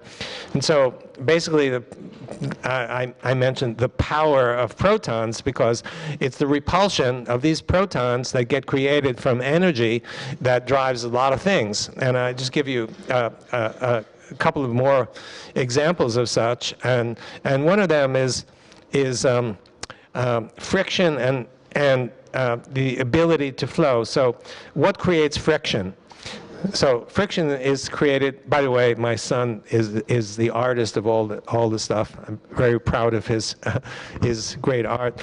Um, if you take sandpaper and you take two sheets of sandpaper and you try to, to uh, slide one along the other, you know it's very difficult to slide. And it, the reason is because of so-called asperities that stick out just like, like these do. And so you find it very difficult. But if the surfaces are separated, then it becomes really easy. And uh, you can think of an example of two hydrophilic surfaces, one here and one here. If you didn't have the water in between, these two surfaces, rough surfaces, would be rubbing on each other, just like sandpaper, and the friction is very high. But if you separate them enough, then the friction essentially disappears. And so uh, here's a situation with hydrophilic surfaces, building EZ, building EZ. and remember the protons come, come out of here. Now if, if you have not enough protons, just a few, then these protons, um, the like, like, likes mechanism uh, will apply, and these positives will attract the negatives and attract the negatives, and, and so not much happens. But if you have enough protons here, uh, these surfaces are now repelling each other, this and this, are, are separated by a lot because you have a lot of protons that are repelling each other, pushing these surfaces apart. And then it's a no-brainer to, to slide one on the other. Friction is essentially disappeared. And I think the same thing happens when ice skating. So, so you have ice, I mentioned briefly, uh, briefly that the structure of ice is very similar to the structure of EZ. Uh, I'll uh, mention that again in a, in, a, in a, moment, but it has this hexagonal structure. Um, but and so if you want to create ice um, from water, it, it, turns out, and I describe this in detail in, in my book, The Fourth Phase of Water, um, if, you, if you want to uh, do that, if you melt ice, you get EZ immediately. The structure, remember, is very similar. You get EZ plus protons, and eventually that changes into water. If you want to freeze water, you must go also through this EZ state, and then you get ice. So the EZ is, actually, I'm sorry, I, I don't have time to to describe that in detail, but EZ is a necessary intermediate between ice and water. You must go through this stage to get from one, one to the other. And we have evidence for that, uh, much of it uh, uh, published. So when you think of when you think of the um, ice skate on the ice, the top surface of the ice is actually melted. This was discovered as early as Michael Faraday, um, how many years ago? I don't, I don't remember. And so if the ice melts into EZ plus protons, the EZ layers are going to be here and the protons are going to be sitting on top.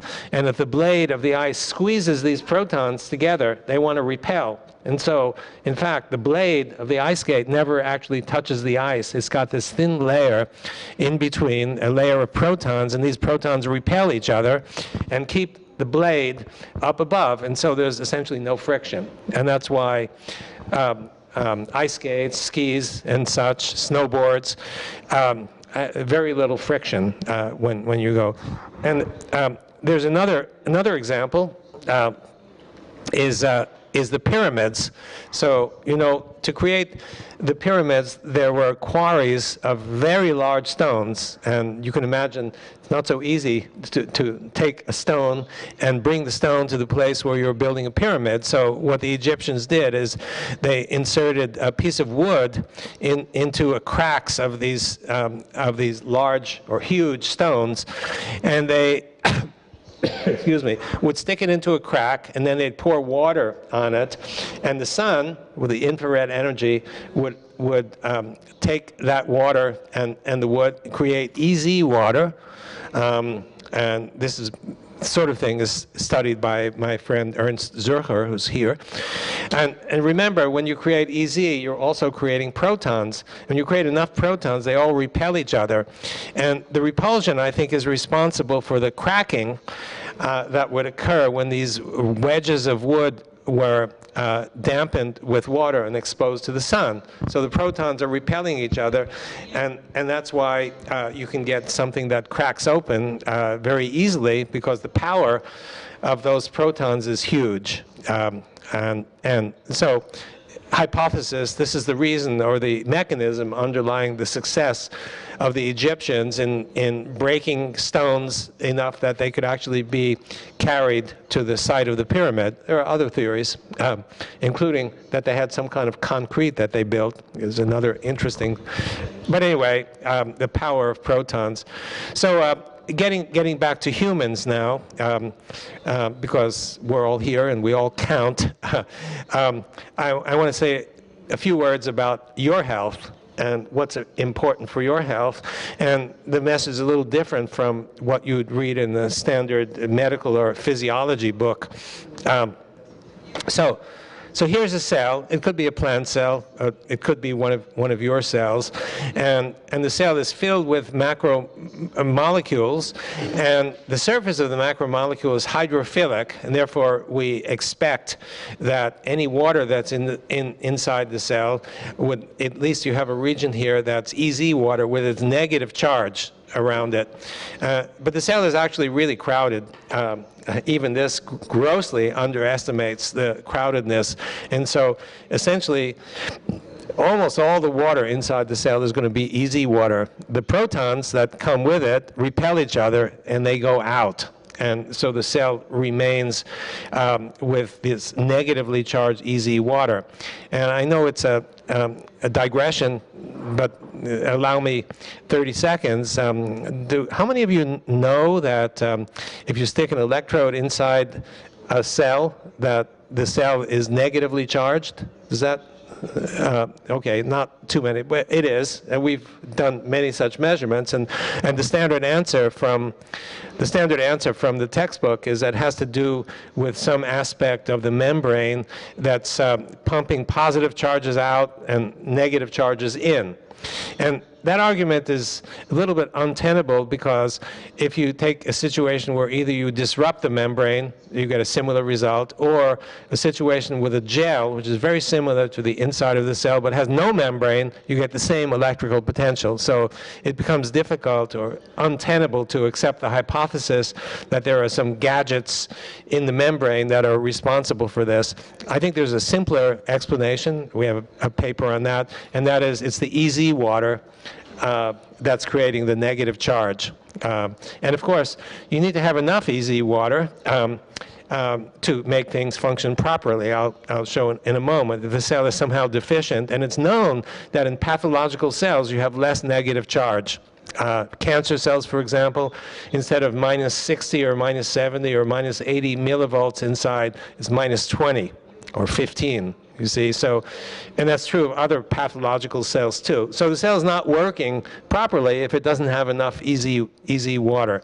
But that's a, a, a digression. Now, um, as I said, since the negative charges repel, um, this has potential energy because they all want to get away from each other.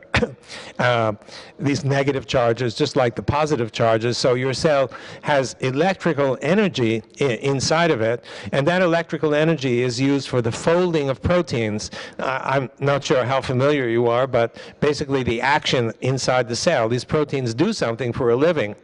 And what do they do for a living? Well, if it's a muscle cell, um, then somehow the folding of the protein is in, involved with creating tension and shortening. If it's a nerve cell, the folding of the proteins is necessary for transmitting the information. If it's a secretory cell, the folding of the proteins is necessary for creating the, the secretion. And uh, all of that is dealt with in the book that I showed earlier, uh, The Cells, Gels, and the en- Engines of Life. So, but each of these proteins is surrounded by EZ water. And so the natural state of each of these proteins um, looks something like this. So this is a protein, and it's surrounded by EZ water, which is which is shown here. So what happens is that as the the in order to fold, what happens is the EZ water disappears, and you get this folding action that gives rise to the whatever the cell is designed to do. And then when the cell is back to comes back to its uh, its quiescent state, this builds EZ water builds up again, and the protein is now extended. So on the right side is is um, EZ uh, is, is a protein that has no EZ water around it or has less EZ. It's in a very strange environment, and because it's in a strange environment, it it doesn't know what to do, and it, therefore it misfolds. It doesn't fold properly, and it doesn't do its job. So so your cell containing these proteins is not performing the way it's supposed to perform. It's pathological. Um, so that's just to give you an idea of the importance of the EZ water. And um, so it's potential energy from the EZ that is driving the work of the cell. It's electrical potential energy. And remember, light builds the EZ, which builds negative charge, which supplies that energy. And the energy uh, does the work of folding of the cell. So connecting the dots, what, finally what I get to is that light is responsible for uh, working and folding. It's the light that you absorb that's partially, um, not completely, responsible for driving the work of your cell, just like a plant. So you function in many ways just like the plant. And so if you ask, well, where do you get your energy? Well, obviously, you get, you get some of your energy, especially when in France, um, where the food is, is very good uh, from that. But I would suggest, based on the evidence that I've shown you, that you also get energy from light. And light is absorbed by the water, which builds EZ and delivers energy when your cell is doing work. And so the question that, um, that you might um, ask is, should this matter to you? um, I, and I, the obvious answer is yes, it should matter to you if you want to stay healthy. Water matters, and light also matters. See, and so essentially like plants. And so um, you ask, uh, well, what builds EZ water in your cells? Because if you need EZ water in your cells to stay healthy, you want to make sure you have enough of it. If you don't have enough of it, you're sick. You have a pathological kidney or heart or what have you. You see, and so what you want to do to remain healthy is to build that EZ water. And so your question is, what can I do, what can you do to build EZ water to help you remain healthy, which you, I think, all want to do. So the first is, of course, hydration, water. You need to drink a, a lot of water, and I think this is well known. Mm. That water will, some of the water will pass out as urine, but some of it will get transformed into EZ water. So drinking enough water um, is increasingly realized, recognized to be good for your health. Um, green juicing, uh, I think many of you know about that. The, the natural health people uh, are always talking about it, and I, I've spoken personally to, to um, a few of these people at least, and, and they say the patients come to them, and it doesn't matter what their problem is. The first thing they tell them is to squeeze the, the green juice and drink it. And, and what I, I haven't read too many papers on this subject, but what they tell me is that the patients will come back several months later, and um, and no matter what their problem was, if they're really adhering to this uh, drinking of squeezed uh, fresh uh, plants, they feel better. They've also lost weight as a byproduct for reasons that are maybe not so clear, but, but they feel better when they've done it. And I think the reason for that is when you squeeze the plants to get the juice out, you're squeezing the water from inside the cells of the plants. And the insides of the cells have EZ water and they're freshly grown plants, so they should have an ample supply of EZ water. So you're basically trans transferring the EZ water from the plant cell into your cell. And I think that's a reason why it's so effective.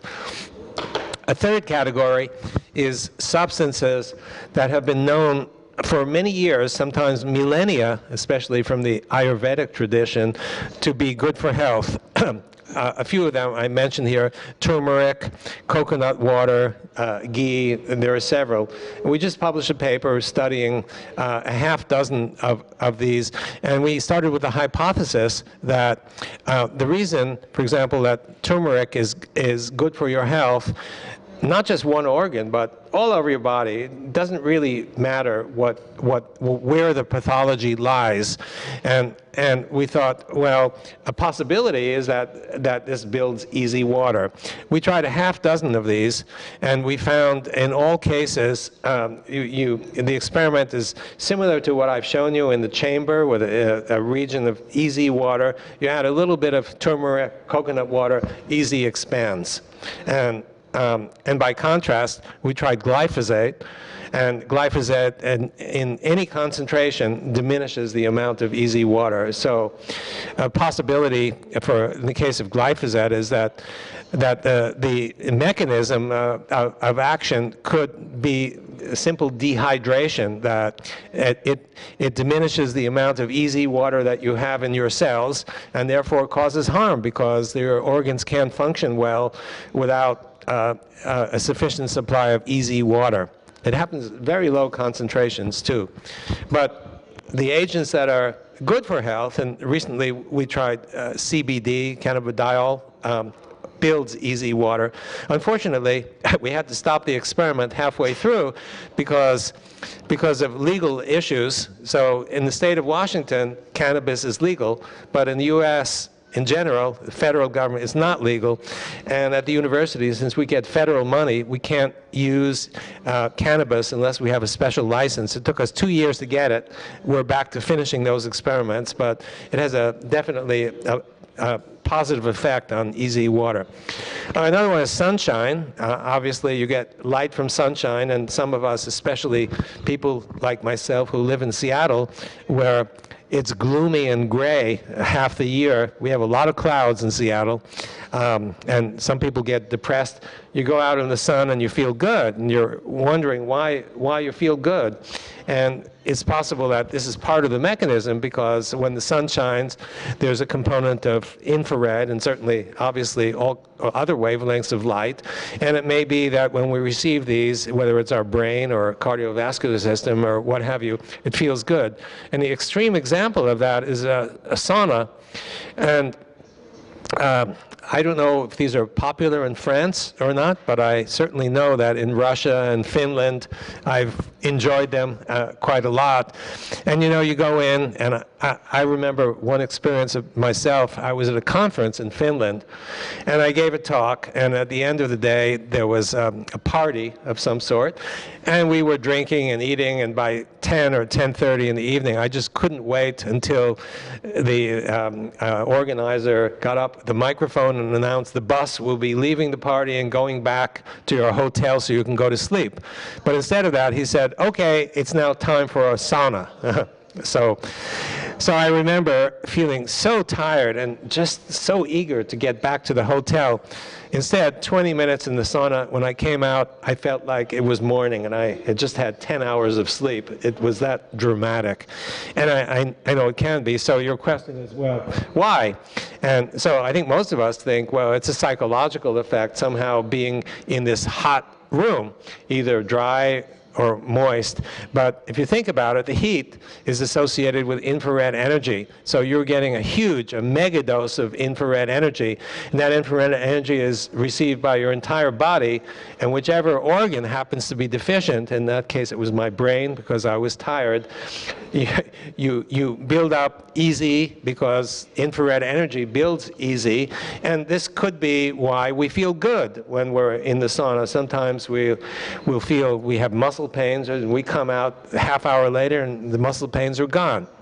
So uh, that's another one. Um, and a, a, another way to build EZ water is through earthing, uh, connecting yourself to the earth.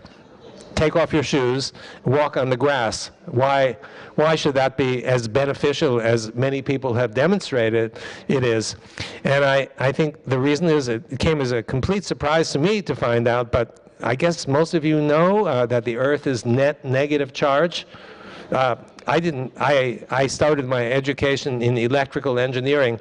If somebody had told me that the Earth was not neutral, you know, I would have said you're crazy, right? But it turns out, um, a Russian guy in my laboratory, uh, just as he was departing back for Russia, we're having a discussion, and he's talking about the Earth's electrical field, and I said uh, Andre, you must be talking about the magnetic field. I never heard of an electric field.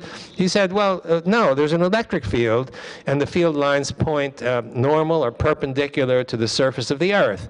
So the, the electric field occurs because there are negative charges in the Earth and positive charges above. And so there's an electrical field between plus and minus. I was extremely skeptical. I, I, I, uh, skeptical. I said, Andre, you're crazy. He said, No, you're crazy. In Russia, everybody knows about all this. Even middle school students learn about this.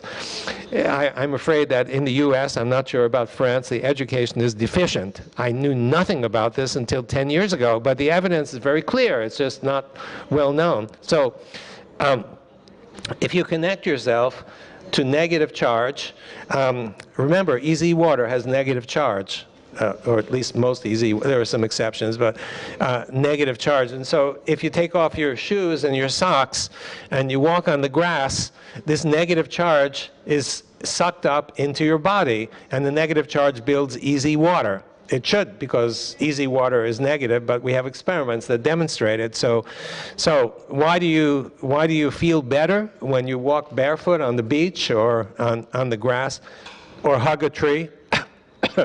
it's because the negative charge gets absorbed uh, into, into your body. So we think that's the reason. So um, this is, uh, these are, I mean, to summarize, these are just some mechanisms that you can use. There are others, uh, very straightforward to help. So the question uh, was uh, whether a, a, wood fire would do the same. Um, and I think the answer is uh, because it's giving off infrared energy and people good, feel good next to a wood fire.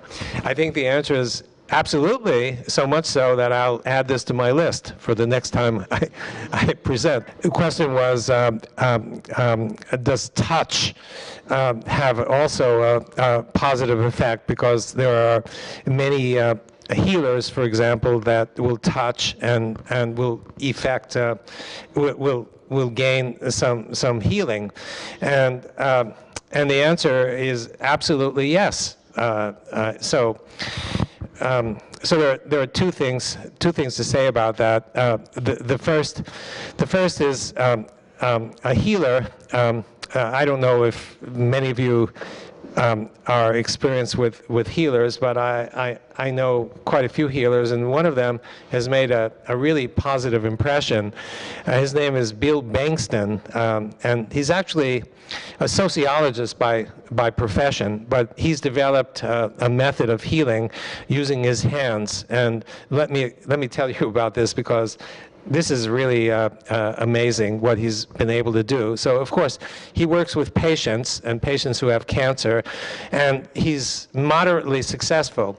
He's worked with mice, and, and here he's able, with his hands, to uh, achieve a practically 100% cure rate, and it's a real cure, not not just a remission. And the way this occurs, he's done this with various laboratories. So he visits the laboratory, and the laboratory has a cancer model, and it's a, I think it's mice or rat, I think it's a, a mouse model, and you inject a mammary tumor into the mouse. And after 20 or 25 days, the mouse dies because the tumor grows and squeezes out all of the other organs, so nothing works anymore, and it's 100% lethal. So he goes to a laboratory who are using this technique, and usually the people in the laboratory are studying some drug or anti, anti-cancer compound and seeing how effective it is. But he uses his hands So he'll have a, a bunch of mice that are sitting inside the cage, and they inject the tumor material, and the tumor grows, this big bulge from the side of the, of the mouse. And he'll take a, a cage filled with mice, and he puts his hands around the cage, and he thinks positive thoughts. Okay, and the positive thoughts, he'll have an image, an image of some positive event in his own life that he can imagine, not something that happened to him, but something that he could imagine. And I guess it's easy to, to imagine the kinds of things that he, he imagines. He has a list of 20 of them. He cycles through.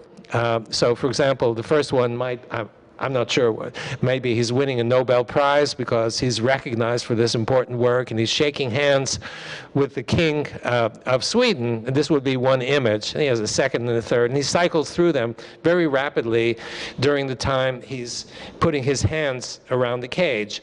As I said, his cure rate um, is very close to 100%. And they're actually cured because the, the tumor regresses and disappears after some time.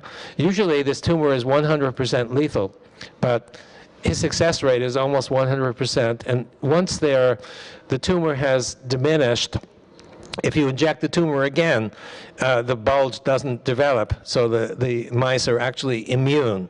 And all of this is done with his hands, and, and um, the question is whether it's the infrared radiation that's coming from his hands that do it. It might be more than that because he needs to cycle through these positive events for for this to work. If he doesn't do that, it doesn't it doesn't work. And so so that brings you to the next step, which which is information. And I, I don't know how many of you are aware of of um, the idea of information in water. Um, as some of you uh, know the name Jacques Benveniste, yeah, yeah, yeah. So, but and I'm sorry, Benveniste.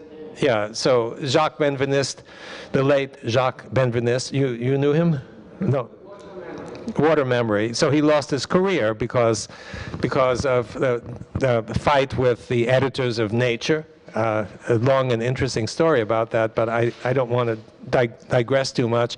But I, I should say that right now, Luc Montagnier, maybe you know him, yeah, is, is, uh, has advanced this, this uh, concept and has done very interesting experiments. He comes almost every year to our water conference, uh, which is moving from Bulgaria to Germany next year. Some of you might have interest in, in coming. It's a very exciting kind of uh, uh, conference. But um, so Luc has uh, information that demonstrates that you can transfer information from water, and he does it with DNA. The DNA is sitting in the water.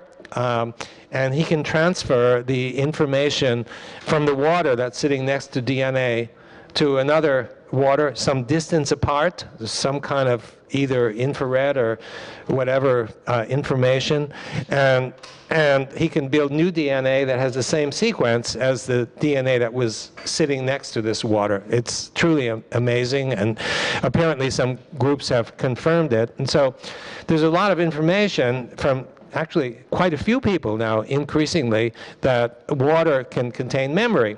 So one of the reasons that Jacques Benveniste lost his career is that nobody could imagine that water can store memory. If you think about it, if you think about this kind of water, it's got molecules that are randomly oriented and bouncing around a huge number of times per second. How is it possible that this could store information? However, the EZ water is a crystal, and just like a silicon crystal, uh, such, uh, a crystal of ordered atoms, in, and, and this is exactly the kind the kind of substance that, that digital computers use, for example, to store information. Um, and so the same principle can be used. Each atom um, is capable, if you think of the oxygens, for example, in the, the, the array of EZ water contains oxygens and hydrogens, and each oxygen can have multiple states. In a digital computer, each atom of silicon, um, I mean, essentially, can have either a zero or a one but in the case of oxygen, it can have um, um, uh, states of minus 2, uh, uh, minus 1, 0, plus 1, plus 2. So the, theoretically, the amount of information storage in water, in EZ water, exceeds the amount of storage in a standard digital memory by um, something like 10 to the ninth. So, so I'm sorry, it's a long answer to, uh, yeah, take care. A long answer to a short question, but, but it, it, looks, it looks as though um, uh, information storage is, is not only possible, but has a great future. And this occurs in our bodies because we're full of EZ water. So the, the original question, I'm sorry, I expanded a, a bit on that, but the, the, the um, capacity to store information in our body is huge. Um, and and healing um, uh, seems to work. It could be infrared energy. It could also be information that contains is contained in that infrared energy. So. Um, let me stop here and, and fi finish, and then maybe we have time for a couple of more questions. I'm sorry it took so long. So what I'm suggesting uh, is, is that not that we photosynthesize uh, the way plants do, but, but we use light energy. So maybe in some way, um, in some way, we're similar or more similar to plants than, than we think. And, uh, and then, you know, in terms of practical applications, um, uh, if, if what I've talked to you is, is not practical, we can get information from from for, uh, we could get energy uh, from sunlight and water.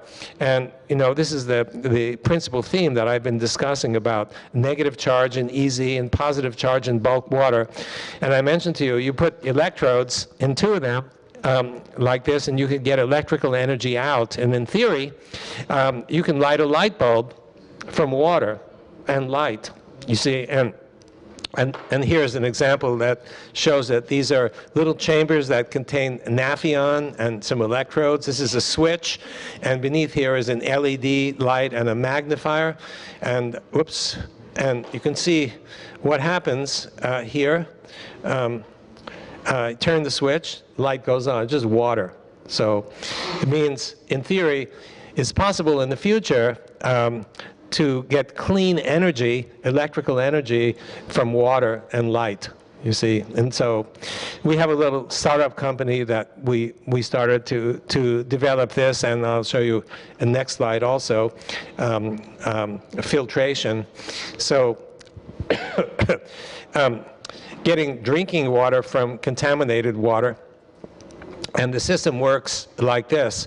Um, so the input is water that may contain uh, microbes, bacteria, uh, poisons, junk, what, what have you. And you put it into uh, a, a Nafion tube. It doesn't have to be Nafion, but something like Nafion here. And remember from what I showed you, you have an exclusion zone here and here, and all the junk gets confined to the center. You see, and so we develop something that has a fancy name called differential extractor, and all it is is is two concentric tubes.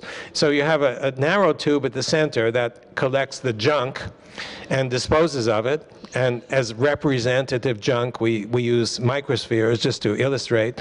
But if you collect the water from the outside, that comes from the exclusion zone, you get relatively clean water. And we've been able to to separate, to get a separation ratio of 200 to 1 in a single pass using this scheme. And of course, we're trying to develop it into something that's practical because the amount of water that flows through one of these tubes, the amount of clean water that you get, is enough to satisfy the thirst of a flea.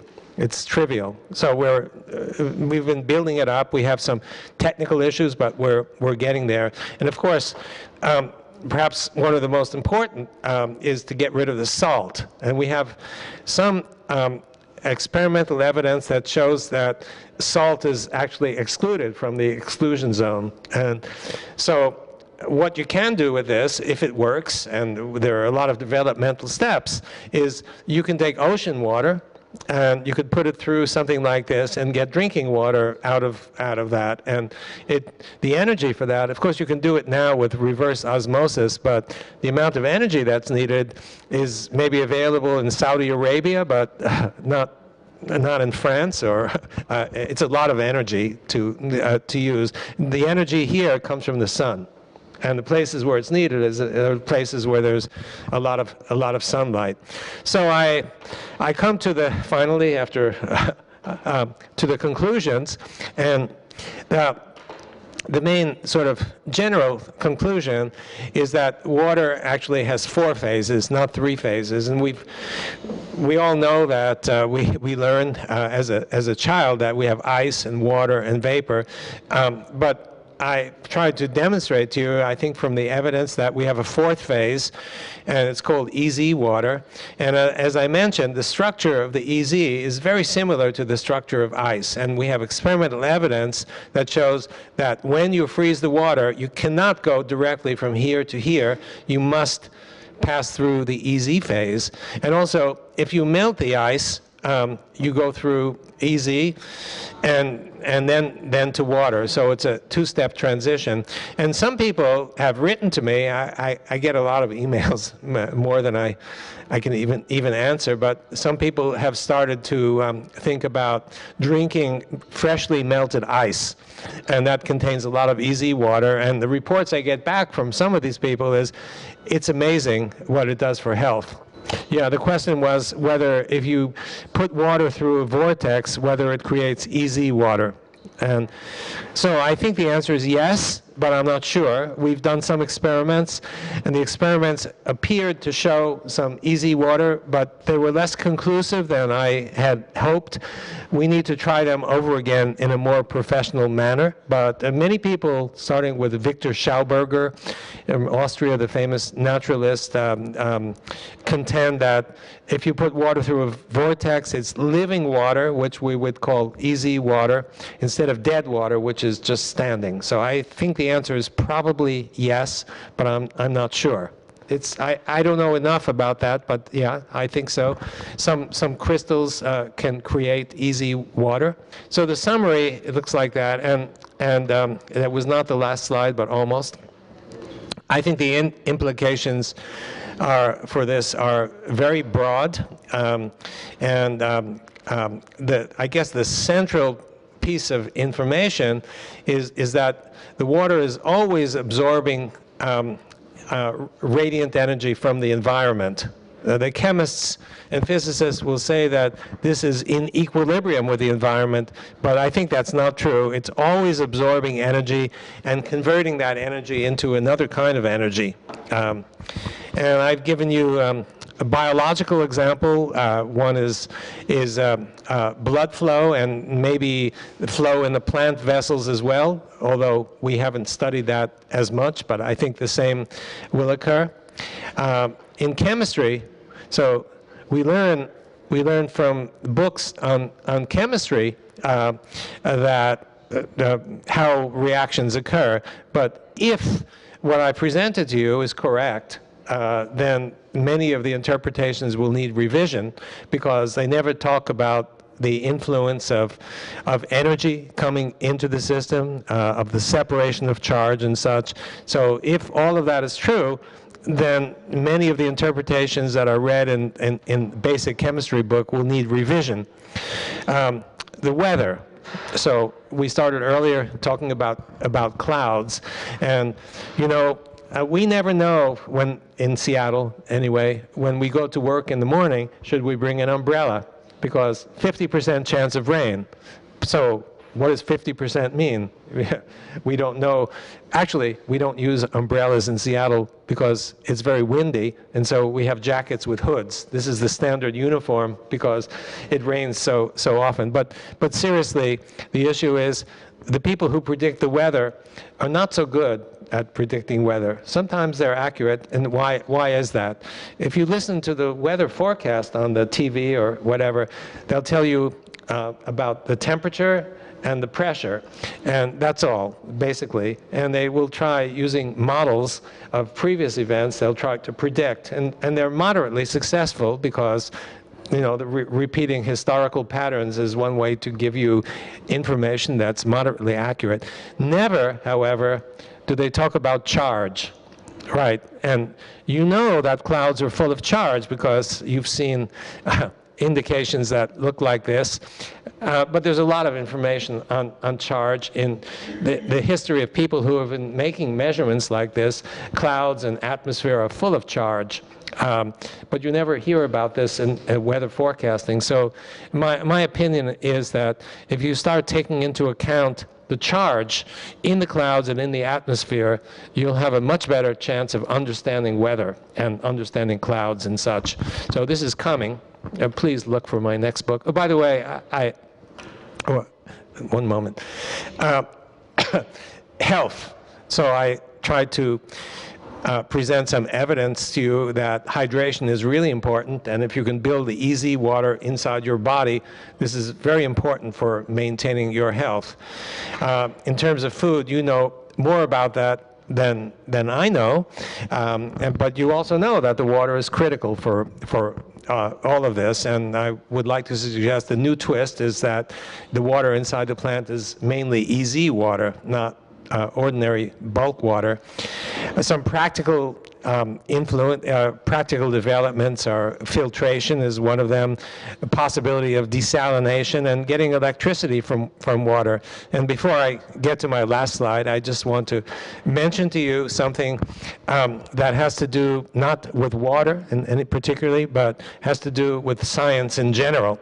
And in my view, um, science is um, limited at the moment. The reason it's limited at the moment is anybody who comes forth with a radical idea, no matter how compelling is the evidence, has a really difficult time because scientists are actually far more conservative than we would like to, to, to, to think. And um, and if you, if you think about the number of revolutions in science, you know, we move by scientific revolutions. Think of how many you can name that have occurred in the past, say, 30 years. Fundamental, I don't, I don't mean technological revolutions like the iPhone or something. I mean fundamental scientific revolutions. I've asked this to many people, and they kind of look with a strange face, and it's really difficult for them to think of something with the same magnitude of, say, the structure of DNA, which is, I think, 65 years uh, uh, ago, or the splitting of the atom um, of that magnitude, it's really hard to think. And why is that? And I, I think the answer is that um, science has become institutionalized. Um, and because it's institutionalized, if I want to get a grant, which I must have in order to do my work, I send in an application and it gets reviewed by the people I'm challenging. So it's like the French Revolution, you know, uh, you go to the king and say, I have a few complaints. Would you listen to me? Well, you know, thank you very much. but, uh, you know, and this is, so this is a problem. Uh, and so we created something called the Institute for Venture Science, and we accept applications uh, from people with revolutionary ideas and um, and we attempt to fund them. And our review process is probably more thorough than any any grant-giving institution anywhere. Uh, we go through many stages of review, and um, so it's a new organization. We selected from among 200 pre-proposals. We checked it. Uh, we selected five exciting projects, and these have nothing to do with water although it turns out that one or two of them have something to do with water. And right now we're looking for donors who uh, want to, to um, uh, people who have done well and want to do something uh, to give back to, to the people. And so um, so if you know of anybody who you think might be interested in uh, something like that, please contact me. Uh, one of the projects is the one I mentioned about healing cancer with your hands. Uh, this is one of the ones that we've we've picked. And so a lot of the stuff that I presented to you is in this book. Uh, it seems to be rather popular, and I'm told that there are some for sale over here. I, I, I don't know about the details. It's a good book. okay, anyway, thank you very.